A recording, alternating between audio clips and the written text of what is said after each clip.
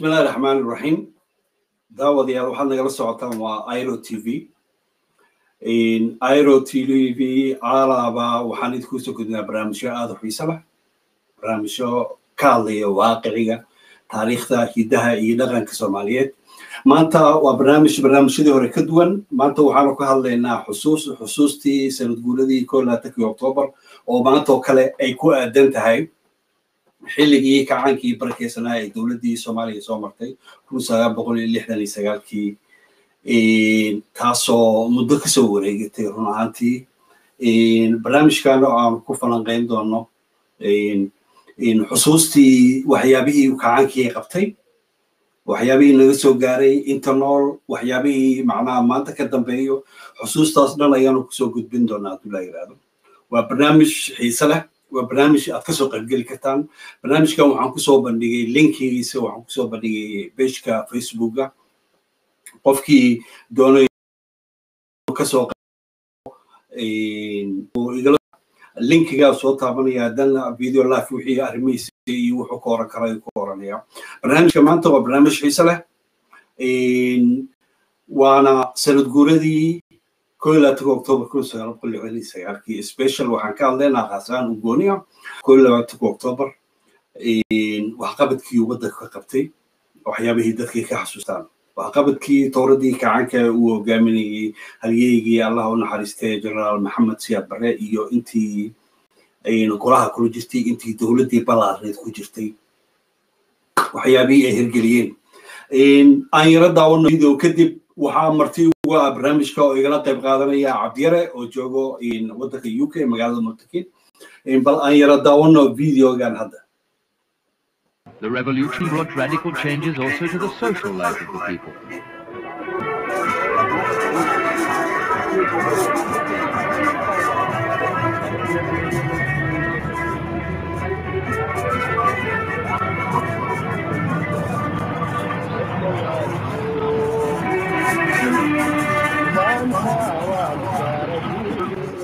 A rural development campaign based largely on student-teacher volunteers and backed by the slogan, if you know, teach, if you don't know, learn, was one of its major achievements.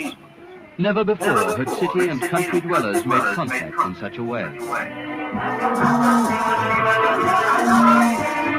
This unprecedented drive against illiteracy bridged the social gap of centuries bringing mutual understanding and a sense of common purpose to the far-flung peoples of the nation. The Rural Development Campaign had a second purpose besides, the teaching of health and basic hygiene. Nothing remotely like it had ever been tried before. For the first time in their history, the Somali peoples were brought together as a whole, not as rival clans or factions, but as a nation, eager, from these small beginnings with the reading and writing of their mother tongue, to grow and prosper for the common good.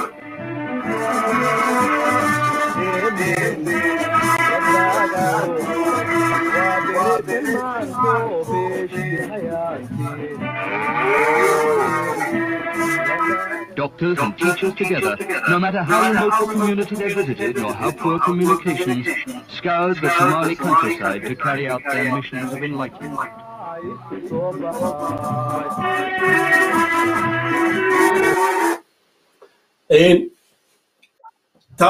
videogaasaan daawanayna wuxuu ahaa ololihii ololihii afka barashada afka soomaaliya dhalinyaradii beriga iskuuladii ardaydii dhiganaysay ayaa waxaa loo diray waxaa loo jiheeyey cabdiyare ku soo dhawow. Waayo maqashaa soomo?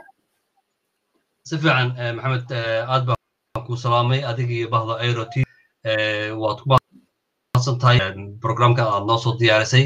Aanu dib leecsanayno waxqabadkii towradii octoobar soo martay. Kamid ah dowladihii soomaaliya soomaaliya dowlad ka mid ahayd okay video videogii haddana dhaafeen daawanayna ayaa wuxuu ahaa.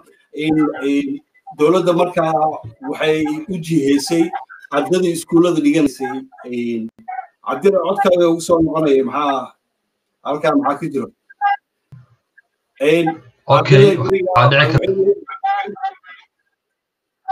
Telefonkaaga ma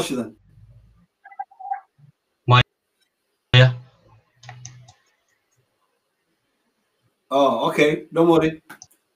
Jek codka iska jegre ardadii barigaas waxaa loo jiheeyey inay baraan qofkii doonayay markaa waxbarashada inuu barto inuu barto qofkii waxbarashadii markaa inuu baro afka soomaaliga markaa cabdiyare ku soo dhawo barnaamijku waa guuradii koo labaatan oktoobar kun sagaal boqol lixdii sagaalkii kun sagaal boqol lixdii sagaalkii waxay ahayd waa barnaamijkan waa barnaamijkii barnaamijkan kaga hadlayno waxqabadkii towradii kacaanka uu hogaaminaya halgeygii allah u naxariistay jenaraal maxamed siyaad bare iyo intii la shaqeynaysay dowladdii ballaarneyd waxyaabihii ay hirgeliyeen iyo waxyaabihii aan ka xasuusano.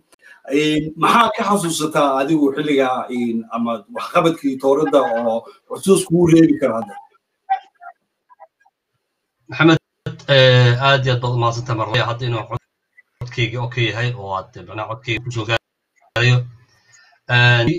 anigu xilligaas dadki waxaan kolley de ahaan dadki waxaan ku jiraa towraddii xilligii ay bilowga ahayd markaas dhashay ama nolosha u bilaabatayba dowladdii kacaankii jenaraal maxamed siyaad barre laba dhinacba way lahayd marka waxaad adi su'aashaad i weydiisay waxaa weeye waa iyo marka waxyaabihii ay qab waxyaaba la soo koobi kara maa runtii waxqabad aad u ballaaran baa ka mid ahaa. Macnaha ma adoo soo koobaya maxaa maxaa ka xasuusataa waxyaabaha ugu muhiimsan ee maanta runtii aad iyo aad iyo aad waxaa ka mid ah ololihii af soomaaliga ee macnaha ee dadkii soomaaliyeed la gaarsiiyey. Waxaa jirto chef qaybta waxbara daraasaad nineteen seventy four dhammaadkeedii waxay soo saartay soomaaliyeed inay noqdeen waddamada africa ugu horreysa dadka waxna qoro waxna akhriyo.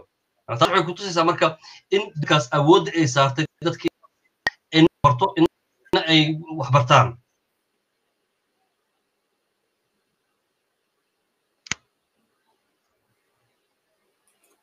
waxaad moodaa inuu codka dhinaca internetka xoogaa oo kondishinkiisu xun yahay. Haye wad soco ka soco marka kolley macnaha programkii wuxuu ahaa program soomaaliyeed gaarsiiyaal aad iyo aad u sarreyso ee ka saaray waxbarashada meel walba oo macnaha waddanka ka mid a soomaaliya la gaarsiiyey waxbarashadii. Taasoo weliba macnaha arrinta ugu mucjisada badneed ee ahayd waxay ahayd in dadka macallimiinta dadka wax barayay ardaydii volunteerka ku shaqaynayay macnaha ku shaqaynayay dadkii la dareensiiyey in ayaga dadkooda wax bari karaan cidno kale loo kaashin. Runtii waxyaabaha ugu muhiimsan ee lagu xasuusta ayay ka mid tahay waxqabadkii dowladda kacaanka maxamed siyaad barre. Alla yarxam raaximiin barnaamijkeena maadaama ka soo bilaabnayno lixdii sagaalkii waxaan rabnaa dadka inaan tusno waxyaabaha qaarkood oo waxaa jiro mar walba dowlad walba waxay ku dhisan tahay shuruuc iyo shuruucii sidii loo fuliyo macnaha waxay ahayd dowlad markaa sharcii soo bandhigtay oo awooddeeda isticmaalaysay waana waxyaabaha adduunka maanta lagu horumaray. Dowladda markay sharciyada iyo barnaamijyada badan soo bandhigto inay hesho dad aad u fuliyo awood leh. Aan yara daawano videogan hadda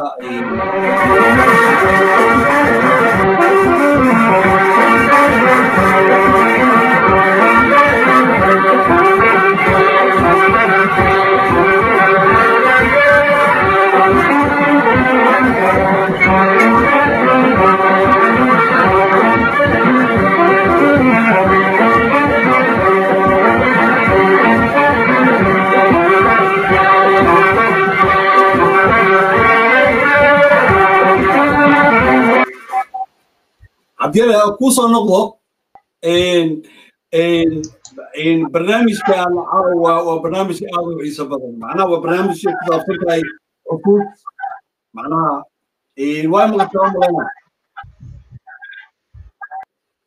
si fiican si fiican maxamed si fiican baan ku maqlaa soo socdaa waxaan arkaynay sawirka shanta golaha sare cabdiyare maxaad noogu sheegi kartaa shanta golaha sare dadkay kala ahaayeen magacyadoodii haddaa xusud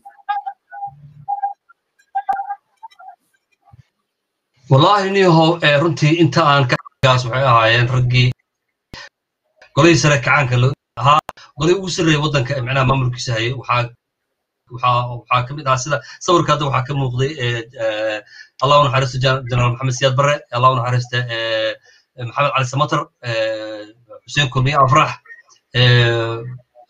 ismaaciil alabukar inuu ahaa maan filaya kale adigu iyo ninka kale magaciisa waa iga maqan yahay marka runtii waxay ahayd golaha meesha ugu sarreysay macnaha waddanka maamulkiisa gacanta ku haysay. Sidaa la soconno dowladdii maxamed siyaad barre ee inqilaabkii kadib oo bilaadhiigga ahaa ee waddankii qabsatay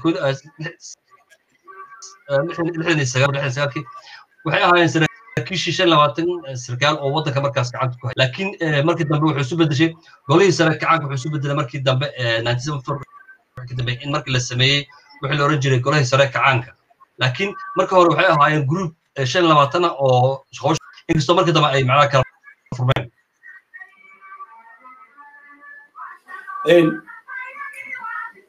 Dhinaca khadka ayaa kaa xun oo u malaynaya. Cabdi barnaamij ku saabsan yahay xusuustii waxbii uu kacaankii hirgeli anigu waxyaaba aragno oo macnaha maanta ilaa xilligaa ilaa hadda uu waddanku ku taagan yahay ayaan rabnaa inaan xusuusaan ka wada hadalno shanta golaha sare waxa waxay ahayd dee hoggaankii markaa ugu sarreeyay ahaayeen dadkaada suurada arkeenay hoggaankii markaa ugu sarreeyey waana waana hoggaan ku dhisnaa dowladnimo iyo iyo adkaysi iyo waxqabad ayuu ahaa kacaankii waxaan ka hadalnay hadda inuu hirgeliyey barashadii afka soomaaliga waxaa kaloo jirtay dhinaca beeraha marka la fiiriyo waxyaabo badan ayuu hirgeliyey. Maxaa ka xasuusataa arrimaha beeraha? Maxamed marka aan macnaha sida realityga ah ee kacaankii ku ilaatay october waxyaabay positiveka uu sameeyey ka hadalno. Runtiiba waxyaabahan xagga lagu koob realityga jira waxay tahay dowladdii macnaha maxamed siyaad bare ee kacaankii dhala lixdii sano ee u horreysay waddanka waxay u qabatay haddii aad eegtid macnaha soomaaliya maanta lixdan sano ayay xor tahay. International statisticada meelaha lagu keydiyo waddamada marka gumaysiga uu ka waddanka iyo horum uu sameeyo waxaa jira statistic laga sameeyo oo laga kaydiyo. Soomaaliya macnaha internationalka development waxaa la yidhahda macnaha waxay development horumar ay sameyso waxaa qoran only six years. Lixda lixdaas sano ah nineteen seventy ilaa seventy sixki wixii development taa waxay ku tusaysaa in waddan developmentgeena noo sargaarsan ay ku jaan go-an tahay dowladdii kacaanka shanta sano ugu horreysay sano ugu horreysay ay waddanka qabatay ha noqoto beeraha ha noqoto ha noqoto kalluumaysiga ha noqoto gelinta ha noqoto dhismaha dhulka ha noqoto hay'adihii waddanka ee dhana dib waxbarashada ha noqoto waddanka la furay wax kasta oo maanta lagu development oo ay soomaaliya dowladda soomaaliya lixdankaas sano ay samaysay. Jiray ha noqoto intii ka horreysay. Waxaa waxay ku tusaysaa in lixdan keliya ay soomaaliya sida dhan tahayba. International archivia markaad eegtid. Waxay ku tusaysaa in lixdaas sana keliya ay noo qorato waxa development. Markay noqoto horumarinta beeraha. Markay noqoto biyaha. Markay noqoto arrinta horumarinta reermiyiga micnaha la gaarsiiyo xoolahooda la in isku in beeraha la taco in wax la soo saaro wadankii loo micnaha la gaarsiiyey inuu isku filnaansho gaaro ah runtii aanan micnaha aad iyo aad qiyaasteeda la soo kori karin marka waxay ku tusaysaa waxbarashadii ay qabteen dowladdu maxamed siyaad barre allah naxariistay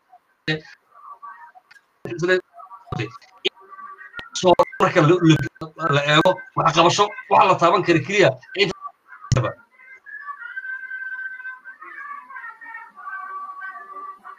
Okay cabdiyada waa mahadsan tahay lix sanaad ku soo koobtay.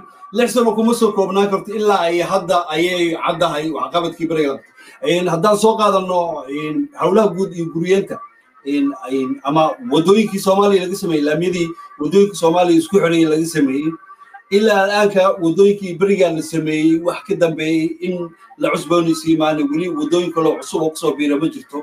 Waa waxyaabaha ay ka mid tahay in xusuustii dowladdaas gacaanka lagu xasuusanay waddooyinka ka mid a beeraha waa aragtay dhulka dhan dhul beereeda laga wada dhigay. Waa fagsamo webi baa fatahay lama maqli jirin. Waa fadsamo okay waxaan ka rabnaa waxaan waxaan waxaan su'aal ka weydiin dhinaca waxbarashada ka waran maxaa ka xasuustaa dhinaca waxbarashada dowladda gacanka waxay ka qabatay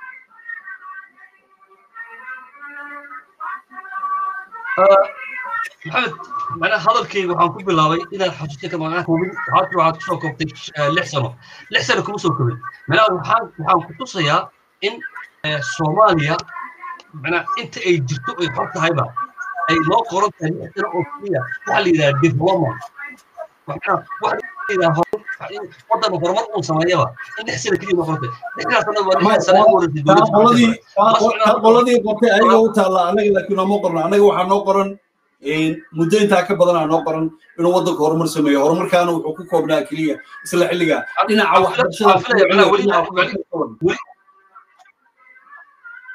dhinaca waxbarashada meesha gaartay ma jiro u malayn maayo in waddan xilligaas sababtoo ah waxay ku tusaysaa in waddanka waxbarasho free loo sameeyey waa hadda wataan ku lahaa ololihii ololihii horumarinta miyiga. Wixii la oran jiray waxaa la gaarsiiyey in dadkii xoola dhaqatada xoolaha raacayay la siiyo chines ay macnaha inta ay xoolahooda biyaha u cabiyaan ay waxbartaan.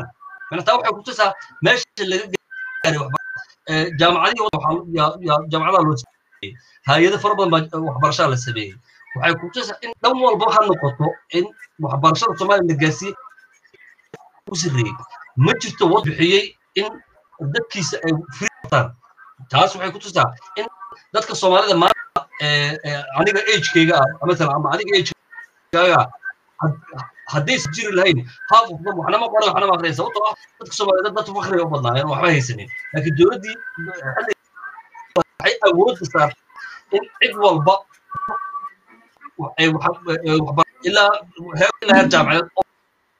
ورتاح wax aan la soo koobi karin inay meesha yaallaan macnaha ma aha inaan ku leeyahay lix sano keliya macnaha international statisticada unbaa arrintaas yaan ka hadlay laakiin waxay ku tusaysaa cid awooddaas leh oo samay macnaha mustaqbalka waa laga yaabaa inay inay timaado dowlad macnaha ee taas ku fikirto. Laakiin systemka waxbarasho gaarsiiyey intaa jiray ama inta inta caqliyeystay ama intaa noolaa macnaha ku dhex jiray macnaha soomaaliya systemkeeda ku dhex jiray. Ma arag cid awooddaas gaarsiisay taa waxay kutusaysaa maanta waddanka majority marka dib xilligan hadda la taagan yahay inkastoo burbur soddon sano fifty percent dadka soomaalida waxna ma qoran waxna ma akhriyaan ageka twenty years ilaa ilaa from zero to to thirty years ku dhexeeya oo burburka fifty percent. afka soomaaliga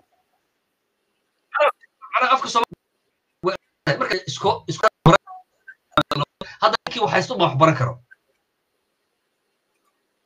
Marka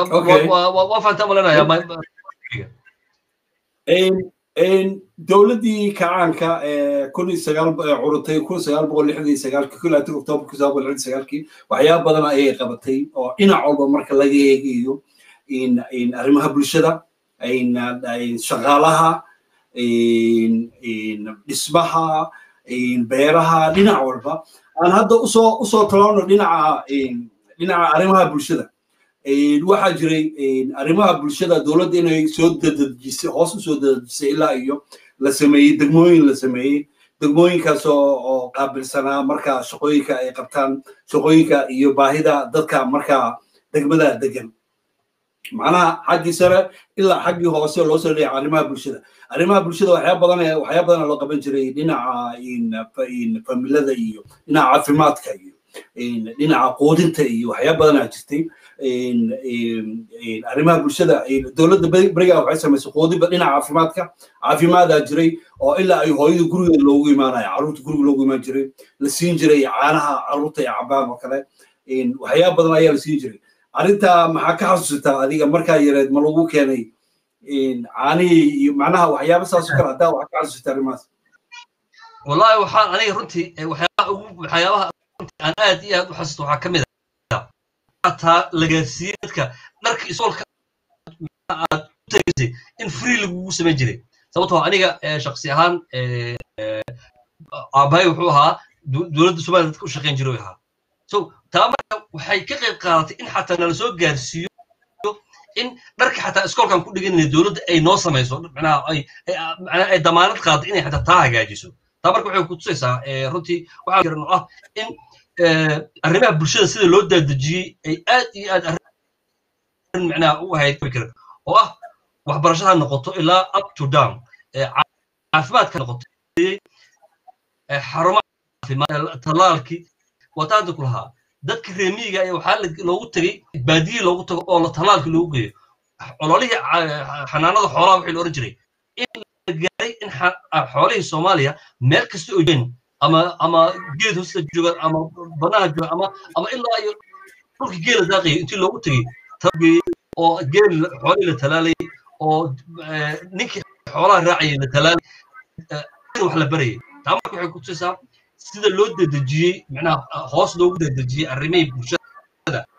Micnaha waxa la soo koobi karaa ahayn runtii dowladdaas wax micnaha maanta aan micnaha lagu tilmaami karo oo ahayn micnaha way jirtaa negative wuu jiraa laakiin dhanka positiveka laga eego ma jirto dowlad soomaaliyeed from aan qaadan independent aan noqono nineteen sixty ilaa maanta dowlad awood u heshay inay sidaa u dadejiso arrimihii bulshada. Ilaa hadda lama hayo. Oo waa kuu gartay waxaa maanta dhan macnaha maanta dhan waxaa ku soo celinaysaa dhinaca negativeka dhinaca negative kuma weydiinin. Mana jiraan macnaha marka la eego wax negative oo ay ay leedahay aniga ma arko kumana weydiin negative. Waxa waaye waxaad raadinaysaa malaha inaan su'aal negative dhinaca ku weydiiyo. Waxa ka hadleyno waa celebration waa xaflad waxaase xusuus sanad guuradii koy labaatan october sagaal boqol lixdan sagaalka waxaa qabadkeedii markaan fiirino markaan fiirino sorry markaan fiirino dhinaca muxuu ahaa dhinaca isug halkana markaan fiirino markaan fiirino maanta soomaaliya waxay la daala dhacaysaa siday isu difaaci lahayd.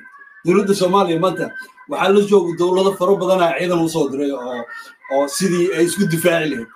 Macnaha al-shabaab aa dhinac ka weeraraya soomaalida dhinac ka weerar waa la kala jijiidanaya macnaha dowladnimadii soomaaliya maanta waa la kala jiidanaya waxay la-dahay ciidan arrintaa ka baxo daacad u ah oo dowladda ku xiran ay la-dahay waxaan waxaa waxaa xasuus ah dowladdii kacaanka ciidankeeda awoodda intuu lahaa macnaha sidee ahaan oo africa ciidamada ugu horreeya ahaayeen maxaa nooga tataaban kartaa xusuusna aan ku xasuusiyo maaha maanta waxaan ka hadlayna wax negative waxa weeye waa dabaaldegii sanad guuradii koo laatan toban kun sagaal boqol iyo lixdan iyo sagaalkii waxqabadkeedii waxaan ka xasuusano waxyaabihii macaanaa ileen ma hayno wax kala maanta waddankii oo isbeddel kala keenay. Weli ma jiraan. Marka dhinaca ciidanka aad u awood badneed. Maxaa ka sheegi kartaa dhinaca ciidanka iyo siday ay u shaqaynayaan aad iyo aad u mahadsanta aad iyo aad baan runtii emotionally iyo micnaha waxaad ka hadlaysa waa micnaha wax runtii aan maanta micnaha wax lagu tilmaami karo jirin. Micnaha marka anugu markaan ku leeyahay micnaha kuma lihi negative negative kama hadlayna horta waxaanu ka hadlaya waa waxqabadkii dowladdii kacaanka dowladdii kacaanka waxay qabatay markii ay noqoto arrimaha militariga oo kale runtii wax la soo koobi karo ma. Aha sababtoo ah gaarsiisay heybad ay maanta ku tilmaaman yihiin gaarsiisay waxay gaarsiisay in macnaha in isku filan xaggii dhawr laga gaaro runtii waa waa arrin loogu time in dib loo herdamo confidencegii soomaalinimada noqoto wax lagu faano macnaha huul loo harsaday ayay noqotay meel la hoos galo oo la harsaday noqotay taas marka waxay ku tusisaa waxyaabihii dowladda gacanka inay waxyaabo runtii maanta waxqabadkeeda marka laga sheekeyna wax soo koobi kara maa wax af lagu soo koobi kara ma soo koobi kara maa waa wax qof kasta oo maanta aniga da'deeda aniga jiilka dadkayga micnaha xilligeygii la soo jaan qaaday wax kasta oran way taas cid maanta oran karta micnaha wax lama qaban ama wax lama qaban runtii umalayna inay jirto. Waa qof micnaha isyeelyeelaayo marka ma aha waxaan ka hadlayna waxaan ka hadlayna waa waxqabadkii kacaankii kacaankii waxa uu qabtay wax ka dambeeyeyna ma jirin wax ka horreeyna ma jirin. Hamtaan aaminsan waa okay dhinaca walaba maanta marka laga eego nolosha bini'aadanka ama maamul kastoo jiro waxqabadkiisa dowladda berigaa way u dhammayd macnaha markaan ka soo qaadno hadda soomaaliya soomaaliya waxaa aad dhibaato ugu hayo cimilada cimilada roobabka ahaadaan abaaraha ha ahaadaan dabeelaha ahaadaan waxyaa badan ayaa jirto. Berigii hore dowladda waxay laan jirtay hay'ad la dhaho dhirtii daaqa ayaa jirtay. Hay'ado kaloo badan oo waxaa jiray oo meelaha dooxooyinka biyaha iyo waxaas la qaban jirtay.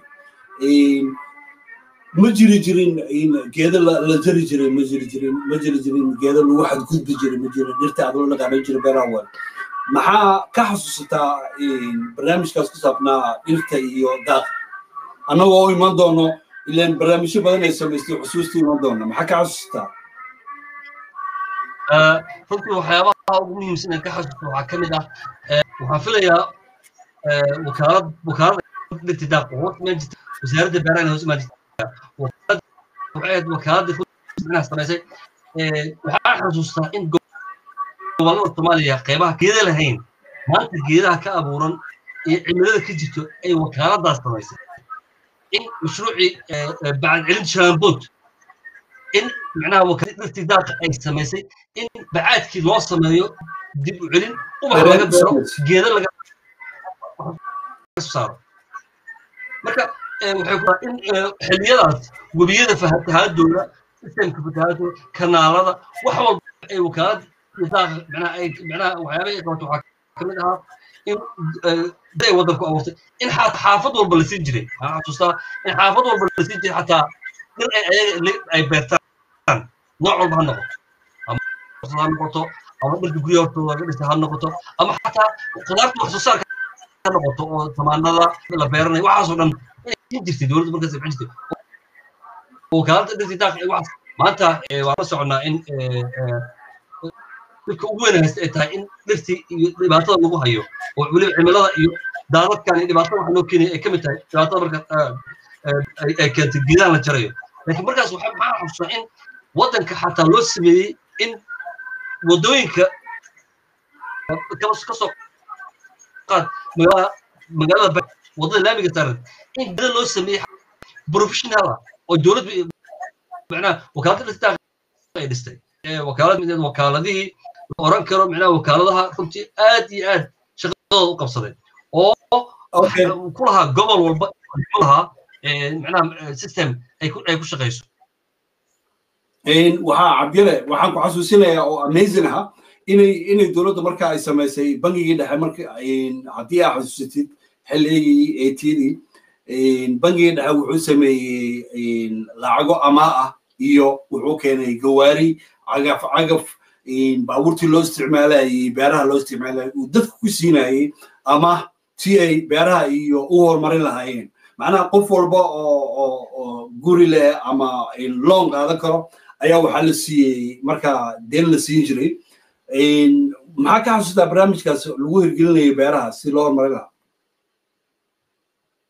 Runtii barnaamijkaas wuxuu ka mid ahaa barnaamijyadii loogu talagalay in isku filaansho ka gaarta way jirtaa waxaa qaabilsanaa bangiga dhexe ee soomaaliya wasaaradda beeraha iyo wasaaradda qorsheynta qaranka. Yaa arrintaas macnaha maamulka gacanta ku hayay. In la sameeyey in la dadejiyo dadka macnaha la siiyo beero la siiyo ciddii wax beeran karto beero la siiyo siiyo markaas xataa beedaba ha noqoto cagafyadii qalab isticmaali lahaayeen wixii o dhan la siiyey taas waa arrimaha intii aan dib dambe soomaaliya sida muuqato. In isku filaanshada intaas la gaaro runtii ay tahay arrin aan filayo inay doonto arrin aad iyo aad runtii jiilalka soo socda kana taascabdina raalahow qof baan ugu soo biiray. Kuma arko mugdi baan arkaa maad isdiyaarinays weli kuma arko ku soo dhowo barnaamijka waa barnaamij aad xiiso leh waa barnaamij xusuus ah. Waa barnaamij qiiro leh kuma arko mugdi baa ku jirtaa weli. Maxamed shire waa ku maqlayaa laakiin nal isku shid badan ku aragnay.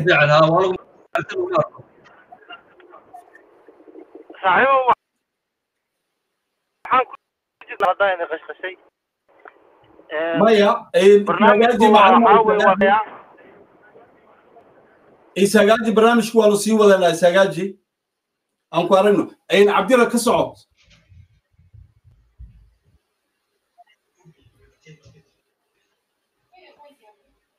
Cabdira kuma maqlo. Khadkaaga aad buu lacif yahay. Filaya maxamed shire waa ka baxay laakiin wuu soo noqon doonaa haddii la yidhahdo maxamed arrinti waxay macnaha developmentiga macnaha xagga xagga beeraha dadka beeraha loo sameeyey. Waxaa waxaa jira in xataa dad fara badan dhul beeraha la siiyey oo ahaa inay beertaan.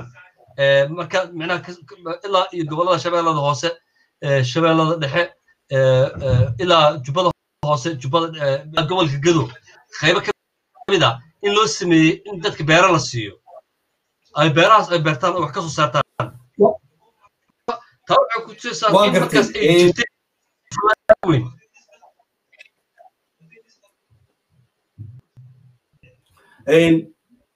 waxaa jiray dowladdii beriga towradii kacaankii ee curutay ko labaatanka october kun sagaal boqol lixdan waxyaa badan ay qabatay. Macnaa wax meeshan lagu soo koobi kara maaha dhinaca horumarinta waddanka marka loo sameynayo shaqa abuur loo sameynayo ama dhismayaal cusub lagu soo biirinayo waxaa jiray dekada ayaa jiray. Waddanka dekado ayuu lahaa.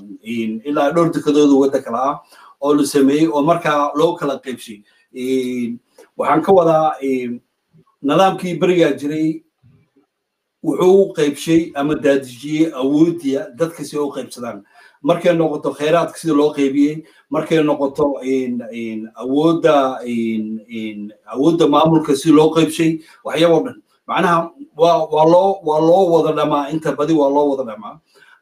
Maxaa ka xasuustaa dekedihii beriga la sameeyey iyo meelihii lagu sameeyey gobolladii lagu sameeyey? Adoo soo koobay maxamed arrintaas haddaan sida ay tahay u abaaro iyo faktiga aan u abaaro dekado ka dambeeyey xilligaas oo la sameeyey mama jirin dekado ka horeyna mama jirin. Sida aan la soconno waddanka dekadihiisa ugu waaweyn markaan ka soo bilowno nooradka soomaaliya aan ka soo bilowno gobollada waqooyiga soomaaliya ka soo bilowno oo somaliland dekada berber oo ah dekada istiraatiiji oo dekad military ka dhistay wax ka dambeyna ma jirin. Way jirtaa in isku dayay in macnaha la dhiso laakiin dekad wax soo saar oo macnaha dekad iska isu dabarta ah waxay macnaha dowladda soomaaliya ayaa samaysay waxaa ku xigay dekadii boosaaso waan ognahay dekadaha ugu waaweyn ee waddanka ahayd waxaa ku xigay dekadii bulsho tii marka tii baraawe iyo tii kismaayo. Way jireen dekado lokala way jireen sida hobyo kale way jirtay lughayo oo kale dekado yaryara way jireen iyo seylac iyo dekadihii waaweynaa waaweyn waddanka. Kismaayo baraawe mara boosaaso iyo berbera. Waxay ahaayeen dekadihii ay dhiscaanka soomaaliya. Wixii ka horreeyna dekada ma ahayn wixii ka dambeeyna ma ahayn. Sababtoo ah dekad macnaha ahayn markaan ka wado waxaa weeye wax leh sababtoo ah wixii ka horreeyna dekadad waddanka dhisan ma jirin wixii ka dambeeyena dekado lo kale waxay noqdeen ay gacanta ku hayaan oo aysan khayraadkeeda loo dhab macnaha aysan khayraad ahayn waddanka wax u xalinayo waxay ku tusaysaa in xilligaas keliya ay ilaa up to now rasmi oo la tilmaami kara ka dambeeya ma jirin ma jirin faktiga marka laga hadlo okay waa waa madsan tahay dadka doonaya inay nagala qayb qaataan barnaamijkan aad buu u fudud yahay si ay ugala qayb qaadan lahaayeen linkiga ah meesha soo dhigay clixosi dan halkaan aan ka arkayaa markaa waad ka qayb qaadanaysaa adigoo u diyaar garoobaya ama macnaha meel iftiinle si aan ku aragno qofka maxamed shire i think inaad diyaar ahayn weli mugdi baa mugdi baa muuqdo. Marka qofka diyaar markuu noqdo anaa soo qabanaya markiiba. Laakiin isdiyaari meeshaada si si lagu arko isu diyaari. Aad ba aad baa u mahadsantihiin dhammaantiin. Cabdire markaan aan ku weydiiyo dunida maanta waxay ka hadashaa may maqashaa cabdire?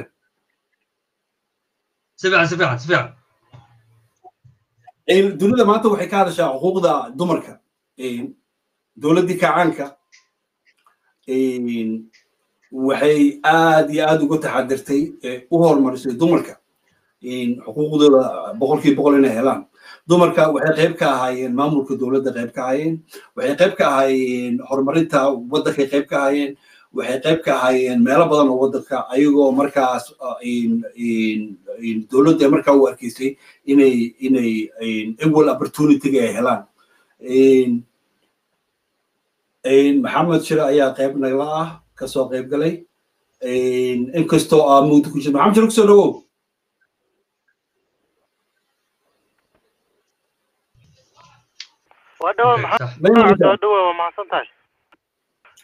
Kusoo dhawow barnaamijka maanta waxaan ka hadlaynaa sanadguuridii ko labaatan oktoobar sanadguuridii ko labaatan oktoobar kun iyo sagaal boqol iyo lixdan iyo sagaalkii waxyaabihii aan ka xasuusanay iyo waxqabadkoodii. Hadda waxaan ka hadlayay barnaamij ku saabsan xuquuqda dumarka. Marka dowladdii marka dumarka aaday xuquuq u siisay. Cabdire adoo soo koobayo axmedna safku ku jiraaye maxaa ka xasuustaa waxyaabihii marka xuquuqdii dumarka iyo wixii la siiyey marka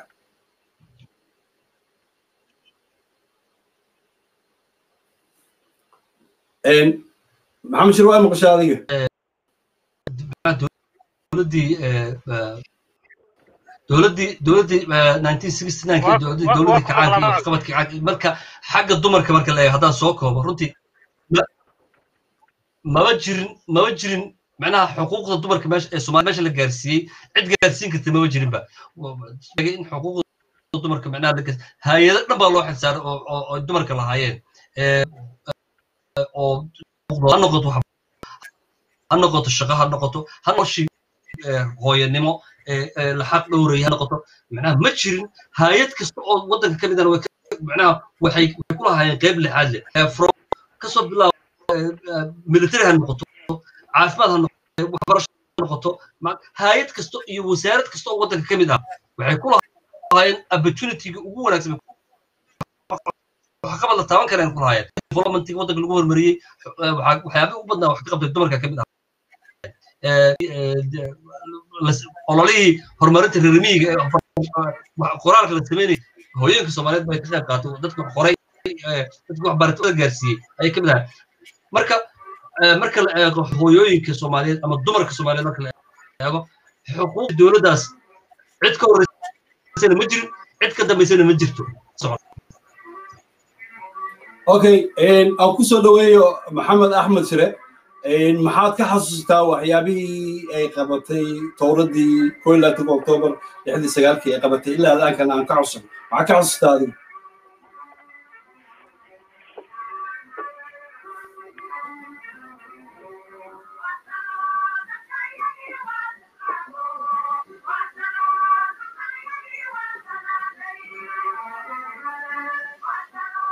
maxamed shire adoo kula hadlaya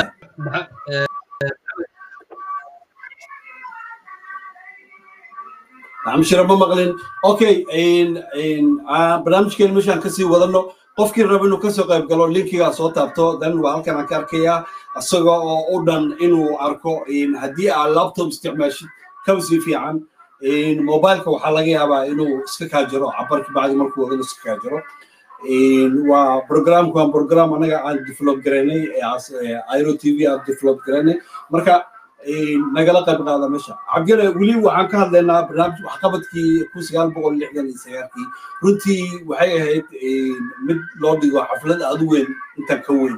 Waa fansamo laakiin anaga intii karaankeyga ayaan xusuusta macnaha dadka la la la wadaagayna. Waxaa jirtay dhinaca waxbarashada dib aan ugu soo noqono waxbarashada. Waxbarashada hoose dhexe sare ilaa iyo jaamacadeed waxaa lagu dhiganayay free. Manhajka wax lagu baranayay wuxuu ahaa manhaj af soomaali u ahaa. Buwaagta free ahay jaamacadda deegaanka free ahayd iyo raashinka free u ahaa. Maxaa arrintaas ka xasuustaa adiga? Maxamed runtii wallaahi waxaad emotionally waxyaabaha qaarkood markaan soo xasuusto iyo markaan isbarbar dhigay maanta meesha taagan yahay. Marki af loo bed soomaaliya ee systemkii manhajkii waxbarashada la daadejiyey af soomaaliga lagu daadejiyey waxaa xasuus macnaha waxaa aad iyo aad mucjiso u ahaa in sayniska micnaha sayniska micnaha technology markii af soomaalida af in micnaha qofka soomaaliga la fahansiiyey exactly. Walba si uu uga dhergo uga baahi baxo waxbarashada in xataa sayniskii loogu oo maanta waxaad arkaysaa arday soomaaliyeed oo wax baratay oo sayniska si wax baratay laakiin haddii ay noqoto in maanta af soomaali aad waxyaabaha qaarkood ku weydiisay ama dhakhaatiir baad arkaysaaba. Markaad af soomaali kala sheekeysatid daawooyinka ama xanuunada jira ama waxyaabaha qaarkood aanad u lahayn inay micnaha si dhadhan la taaban karo af soomaaliga kugu sheegaan taa waxay ku tusaysaa in waxbarashada la gaarsiiy meesha ugu sarreysay oo ahayd in qofka soomaaliga lagaga dhargiyey luqadiisa looga dardejiyey inuu wax barto marka micnaha wax lagu tilmaami kara ma jirto kambas degan oo jaamacad oo la siiyey wax la isugu daray wiya guri free iyo free. Ma jiro waddamadan reer galbeedka ku nool lahay deyn baa wax lagu bartaa. Laakiinse ma jirto adduunka micnaha taas gaartay. Marka taa waxay ku tusaysaa waxbarashada soomaaliya awoodda la gaarsiiyey waana waxyaabaha runtii ee dadka soomaalida u baahan yihiin inay dib u fariistaan runtii dib loo baaro la yidhahdo awooddaas ku timi sidee loo gaaray heerkaas? gaaro maxaase hadda naga hortaagan? Waxay ku tusaysaa in haddii la heli lahaa hoggaan micnaha dadka realitiga iyo sida micnaha waddanka loo loo hagi karo wax walba la taaban karo. Marka runtii inkay soo qaato wax lagu maanta lagu tilmaami micnaha heerka soomaaliya la gaarsiiyey waa waa gartay waa gartay waa waa waa waa arrin aad qiiro u leh xasuus leh waxaan rabaa inaan su'aal ku weydiiyo. Waxbarashada markaa soomaaliya friiga ahayd ma dad gooniya heli jiray? Mise soomaalidana u wada dhameed waxbarashada leeyahay aniga waxaan aaminsanahay meesha maanta ugu jira aan lahayd inaan waxba baran lahayn. Sababtoo askari dowladeed buu ahaa ciidamada u shaqaynayay laakiin waxaan awood u helay inaan waxbarasho aan helo heli kartay macnaha ma jirin waxbarasho lagu kareeyey ma jirin iskool private oo oo oo cid goona ma jirin la leeyahay iskoolka waxaa iska leh dadka darajadooda noocaas tahay ma jirin macnaha waxaa jiray macallin dhisan iskool dhisan wasaarad diyaarsan wax walba oo diyaarsan in wasaaradda waxbarashada ay macnaa dhan walba dadka macnaa kaa qabtinaysay waxaan waxyaabaha soo waxaa in xataa xilligiisa galaaska sideedaad galaaska lixaad imtixaanaad jiray. In xataa ardayda la sii jiray waxyaabaha la yidhahdo xaggan. Tuition extra waxbarashada ah hadda lacagta lagu bixiyo. In aan free ku heli jirnay. Inaan heli jirnay macallin waxbarashada ka baxsan waxbarasho zaa'idana sii jirtay marka taa marka waxay ku tusaysaa isku filnaansho noocaasa cid gaartay waddamada africa inaysan jirin xilligaas inaysan jirin inay jirtay. Barnaamijkaas waxbarashada aan ka hadlayno macnaha wuxuu ku salaysnaa ay dowladda ku wajahnayd ay sidii loo joojin lahaa ama loo baabiin lahaa jahliga soo ma? Macnaha waxay waxbarashada ugu baxaysay free ugu baxaysay ardayda free loo siinaayey qof walboo soomaali loo siinaayey in dadka markaa jahliga laga saaro ayay ahayd waa waxyaabaha ugu horeysa ay dowladda markaa focuska saartay dadkeeda inay wax barto sooma طبعا طبعا runtii maxamed barnaamijkii ololihii horumarinta reer miyiga waataan waxbarashadan ka hadlaynay waxyaabaan ka hadlayn ka mid ahayd waxaa gaaray baan ku yidhi ninka geela raacayo ee marka uu yimaado cabayaan in la fahansiiyo intay cabayaan in wax la bara asagana. Oo laysku dayo in asaga xoolihiisi haysto xoolihiisi la socdo waxna uu qoro waxna akhriyo. Bini'aadan heerar bay kala leedahay. Laakiin qofka bini'aadanka meesha ugu horeyso waxaa weye qofku inuu waxna akhrin karo waxna qori karo taa marka qofka waxay ka saacidaysaa noloshiisa inuu maarayn karo. Taa marka waxay ku tusaa in dadka soomaaliyeed boqolkii toban iyo sideed inta sida la sheego ilaa siddeetan ku dhowaad la gaarsiiyey inay waxna qoraan waxna dadka xilligaas joogay. Manaha waxay ku tusaysaa in runtii aad loola dagaalamay jahli aad iyo aad manaha dadka jahliga laga saaro. Sababtoo ah qofka bilaadanka waxa ugu horreya waa inuu waxna qori karo waxna akrin karo. Labadaas qofka hadduu helo wuxuu ka baxayaa wuxuu ka baxaya iriga jahilnimadu ka baxayaa. In dowladdii soomaaliya markaas ay gaartay in boqolkii sideed dadka soomaalida ay waxna qoraan waxna akhriyaan. La heli karaan maya runtii. Macnaa waa arrin waxyaabaha waxay ka mid tahay. Wax lagu soo koobi kara jirin. Waa gartay waa gartay. Markaan eegno dhinaca kale awood qaybsiga dowladda markaa maanta soomaaliya waxay ku dhiban tahay oo la dhaqaaqi lacdahay awoodda si loo qaybin lahaa.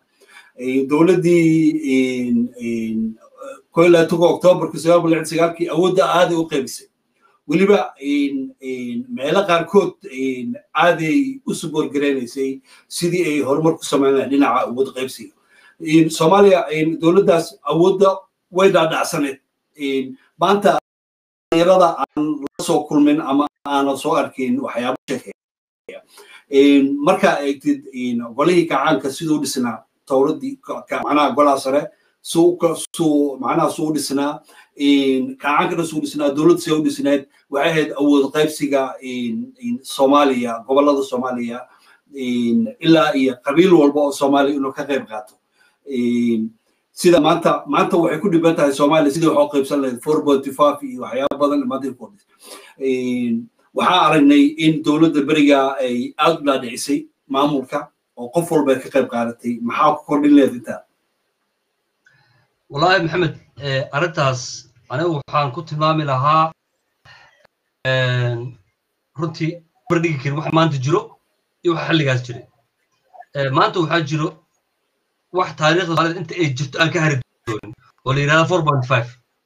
In dadkii soomaalida la tusay oo laga dhaciyey oo wax jira wax caadi ah looga dhigay qofka qof soomaali ah lagu yiri qof kale oo soomaali ah meeshaas u qalmo adigana meeshaas ma soo gaari micnaha taas waxay jiilka jiil arrin soomaalida aan ka hari doonin inta inta aan waa runtii waa dembiyadii ugu weynaa ee abid micnaha humanitarianka laga galo islaamnimada laga galo.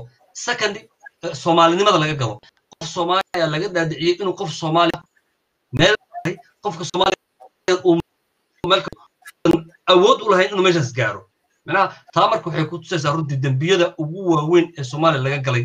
Inta ay jirtay ay nooleen aan jirnay dembiyadii la galay ka mid tahay. Runtii wax la soo barbardhigi kara maaha. Dibadda u noqo marka dowladdii gacaanka waxay ahayd adduunka waxaa lo macnaha marka dowlad jirto waa iyo macnaha waa dowlad dad waddanka dhisan iyo dadkii ay u dhisnayd macnaha soomaaliya oo dhan dowlad ma ahayn oo dadka dhan ma ahayn laakiin waxaa jiray goob dowladeed oo waddanka natiiji ahaan u dhisan oo daadegsan oo ilaa heer degmo ilaa heer tuulo ilaa heerka u hooseeya shaqada loo qaybsaday ee cid walba joogtay.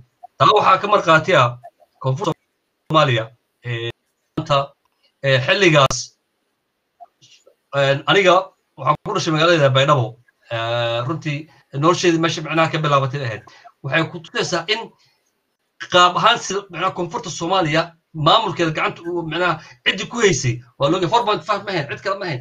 Waxay ahayd dhammaan dadka soomaaliyeed meel kasta ay ka yimaadeen manaha ha noqoto saraakiishi ha noqoto dhakhaatiirta ha noqoto eh, isuduwayaashi ha noqoto eh, manaha maamayaashii wixii o dhan manaha gobol walba si walba suu dhistaa laakiin ma jirin inay meel meel ku ay ku qorneyd reer hebelna reer hebelna joogya runtii waxyaabaha waxyaabaha manaha soomaalida ay u baahan tahay inay runtii laga shalaayo manaa waxyaabaha hadda na haysta waxaa ka mid ah waxyaaba taariikhda aan naga harin. Shaabad ku noqda dadka in qof soomaaliya ree hebel baa tahay darajadaad intaas la egta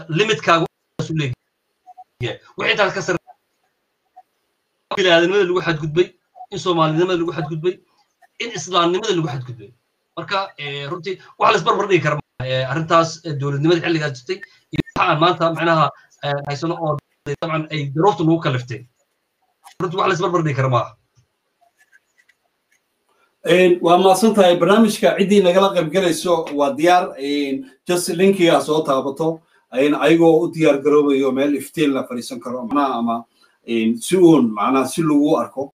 Haddaa cod keliya ku soo gelaysa laftigaaga macno ma leh.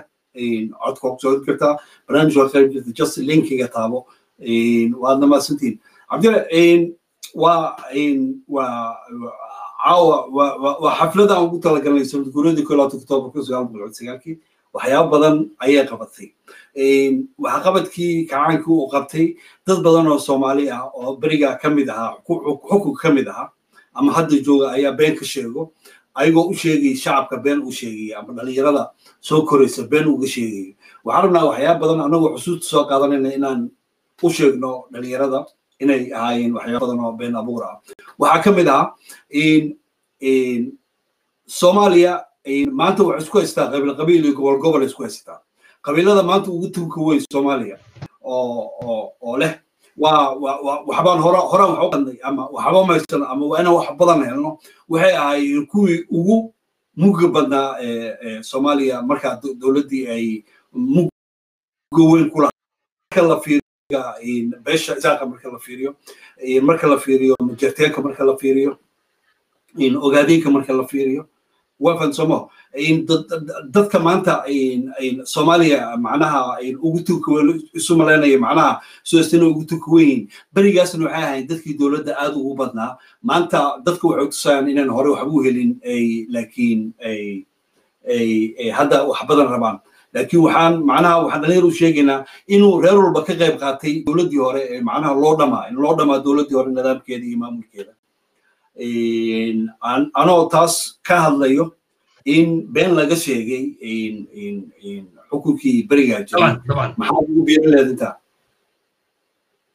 niyo maxamed arrintaas macnaha marka laga hadlayo waa horta waxaad moodaa in dadka weliba jiilka cusub ee la kowsaday burburkii iyo dhibaatadii waxaan tusaale kaaga soo qaadanayaa maanta gobol walba oo soomaaliya maanta waxaa ka jira shan dowlad goboleed oo soomaaliya jirto shantaas dowlad goboleed ragga baarlamaanka ku jiro ragga ugu tunka weyn hor ordayo weligood waxay wax ku soo wada barteen ama lagu soo baray hantidii ummadda soomaaliyeed ay wada lahayd ma jirin wax lagu soo baray ma jiro macnaha madaxweyneyaasha waddanka soo maray ee baarlamaanka ragga fadhiyo. Raggan hadda sheeganayo macnaha inay waddanka kala qaybiyeen oo dowlado ka sheeganaya gebigood waxaa waxa lagu soo baray hantidii ummadda soomaaliyeed iyo canshuurtii ummadda soomaaliyeed. Taa marka waxay kutusaa ninka soddon jirka ah ee maanta joogo waa runtii waa nin macnaha image khaldan la tusay laakiin weli helin cid ka fujisa oo tidhaahdo adigu cabir. Wixii dhacay. Macnaha qalad iyo sax wixii dhacayba sidaan u cabir marka. Midda midda ay taa marka waxay kutusaysaa dadka soomaalida maanta da ahaan iyo soddon jir iyo ragga dee maanta talo waddanka gacanta ilaa toddobaatan jirka soo macnaha jiilkaas oo dhan inay ahaayeen jiilkii majority-ga eighty percent dowladda gacanka wax soo baray ragga hadda horboodayo dowlad goboleedada majority-ga wax soo baray waxa lagu soo baray waxa lagu soo baray canshuurta ummadda soomaaliyeed laga qaada lagu soo baray. Marka inuu maanta yidhaaho ree hebel oo beel hebel ah ayaa dowlad goboleed hebel samaystay. Oo dowlad goboleeddaas macnaha waxaa u samaystay ree hebel baa u samaystay. Asagoo oo canshuurta ku soo bartay canshuurta ummadda soomaaliyeed meesha maanta joogsiiyey ma jiro maanta nin orod wax ka soo bartay. Ee argan macnaha horbooday dadka soomaalida. Marka waxaad waxaa ku tusaysaa in dadka soomaalida loo sheegay image khaldan intii la tusay. Image khaldan weli la haysto.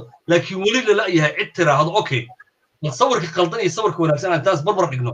Midda ay u qalanto dowladda caanka aan eegno macnaha adduunka bini'aadanka ayaa ayaga wax kala markaan wax macnaha su'aashaas aan ka jawaabay waxaan wax ku kala saarayaa.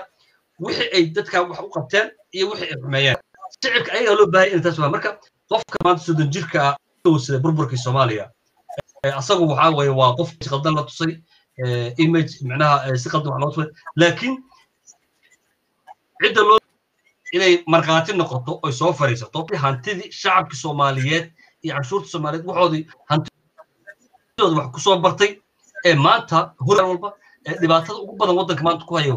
Raggaas ayaa loo baahan soo fariistaan oo systemka annaga wax ku soo baran noocaanu ahaa systemkan ayuu ahaa systemka waddanka jiray.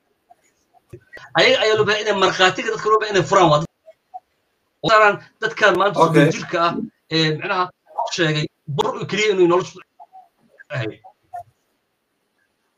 waa gartay anoo intaa ku sii darayo meelaha meelaha soomaaliya maanta laga burburinayo ama lagala dagaalamayo ama dowladda socodkeeda ay laga dabrayo waa meelihii ay dowladdii hore fangaraysay ay maalgelisay ay hantimo guurtaan u samaysay. Kaba soo qaad maanta kismaayo dekadii orobero leedahay dowladda hore u samaysay. Muqdisho sidoo kale boosaaso sidoo kale berbere sidoo kale. Waa meelaha fadhiidka ka dhigay in dowlad iyo nidaam iyo horsocod soomaalida ay gaarto waa meelihii dowladdii hore ee kacanka ay maalgelisay si ay u helaan hantimo guurta ah oo horumar iyo wanaagga u helaan. Waa meelaha lagala dagaalamayo horumarka soomaaliya. Maxamed taa taa waxay ku tusaysaa sababta ay soomaalida u soo kaban la-adahayba in la diidan yahay wixii ummadda ka dhexeeyey ee la wada lahaa. In la wada isticmaalo nin baa haysto dad asaga leeyahay canshuurta ka qaad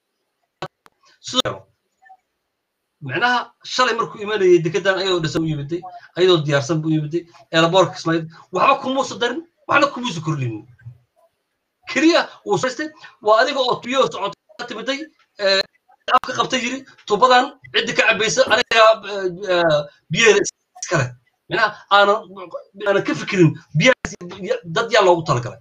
Micnaha taa waxay ku tusaysaa sababta micnaha dadka isu yimaadaan ay diidan yahay. Waxaa weeye waa waxay dhexeeyey iyo hantidii qaranka uu lahaa ee takrifalka lagu sameeyey ee privatka laga dhigtay.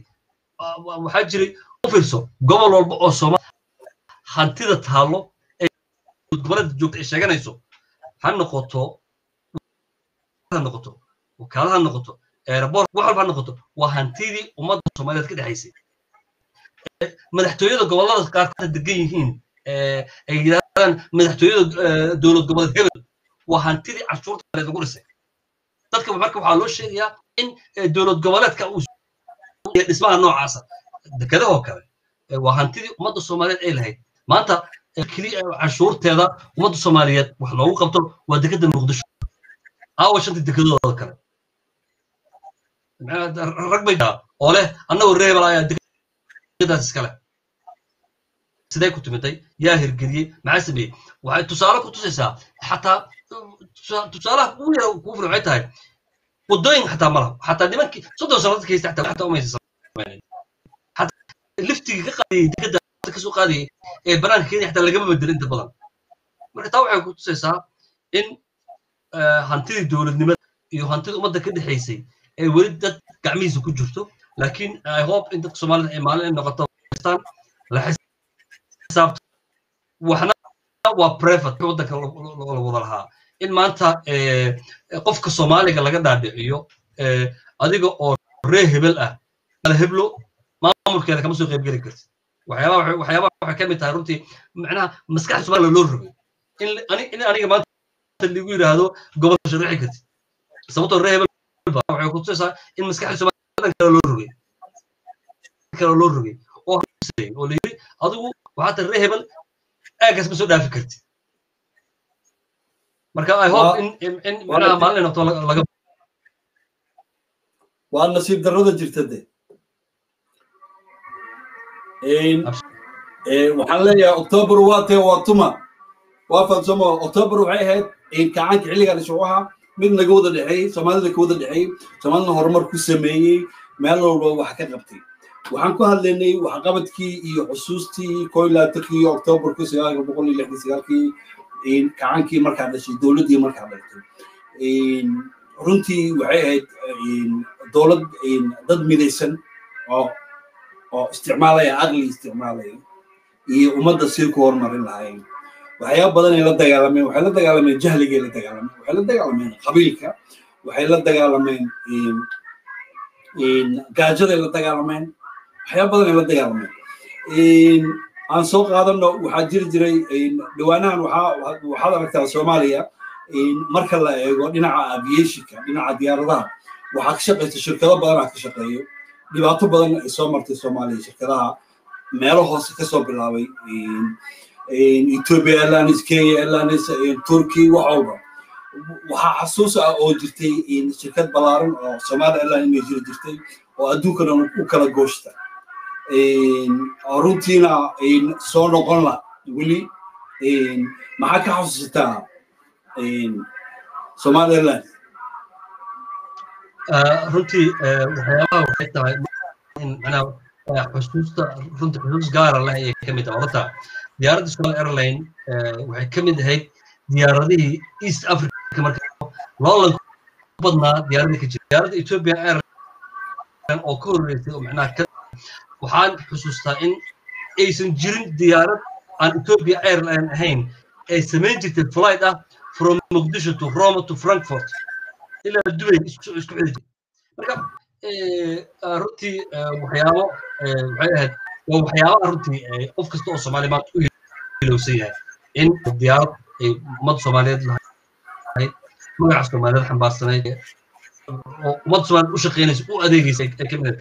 Somaali airline waxay ka mid ahayd waxyaabihii runtii development u sameynaya waxaa shaqaalo fara badan arday waxaa jirtay ka soo bixi jirtay qaybta aviationka oo shaqo siin jirtay ha noqoto deska gabdhihii hoosteska iyo wiilashii ha noqoto beeloodadii cid walba ha noqoto aviationka waddanka in gacanta la controlaya runtii maantana aad arkaysa in lagu diyaarad kiyalada waxay ka soo degtay magaalo heblo oo cidna lama soo cidna horumarka taa waxay darro soomaalida ku dhacday aan runtii macnaha imaan la garanayn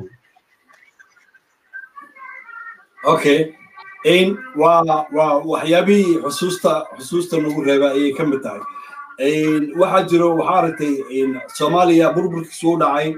Waa tii la kala firdhacday waa tii meel walba la aaday. Ilaa alaankan soomaali badan ayaa waxay ku nooshahay waddanka south africa. South africa soomaalida aad baa loola dagaalama. Meeshas waa lagu dhaawaca waa lagu dilaa soomaal badan lagu gubay lagu baabiyey waxaa xusuus ah maalin barnaamijyo ah waxaan daawaday hooyo south african ah oo leh dadkan aad leenaysaan ma macnaha ma ogidin miya ma taqaanin miya macnaha waxaa jiri jiray wadamo badan oo scholarship jaamacadda gaheer iyo jaamacadihii soomaaliya u imaan jiray dowladda ay scholarship sii jirtay ayaa jiro. Oo banaanka ka iman jiray jaamacadaha waddanka soomaaliya markaa dhigin jiray free ku dhigin jiray soomaalida ee markaa dowladda soomaaliya ay siin jirtay.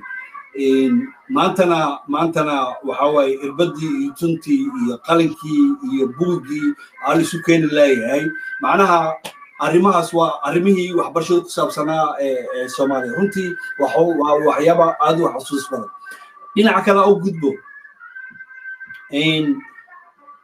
dhinac walba marka la taabto soomaaliya dowladdii kacaankii ko laata oktoobar kun sagaal boqol lixdan sagaalki runtii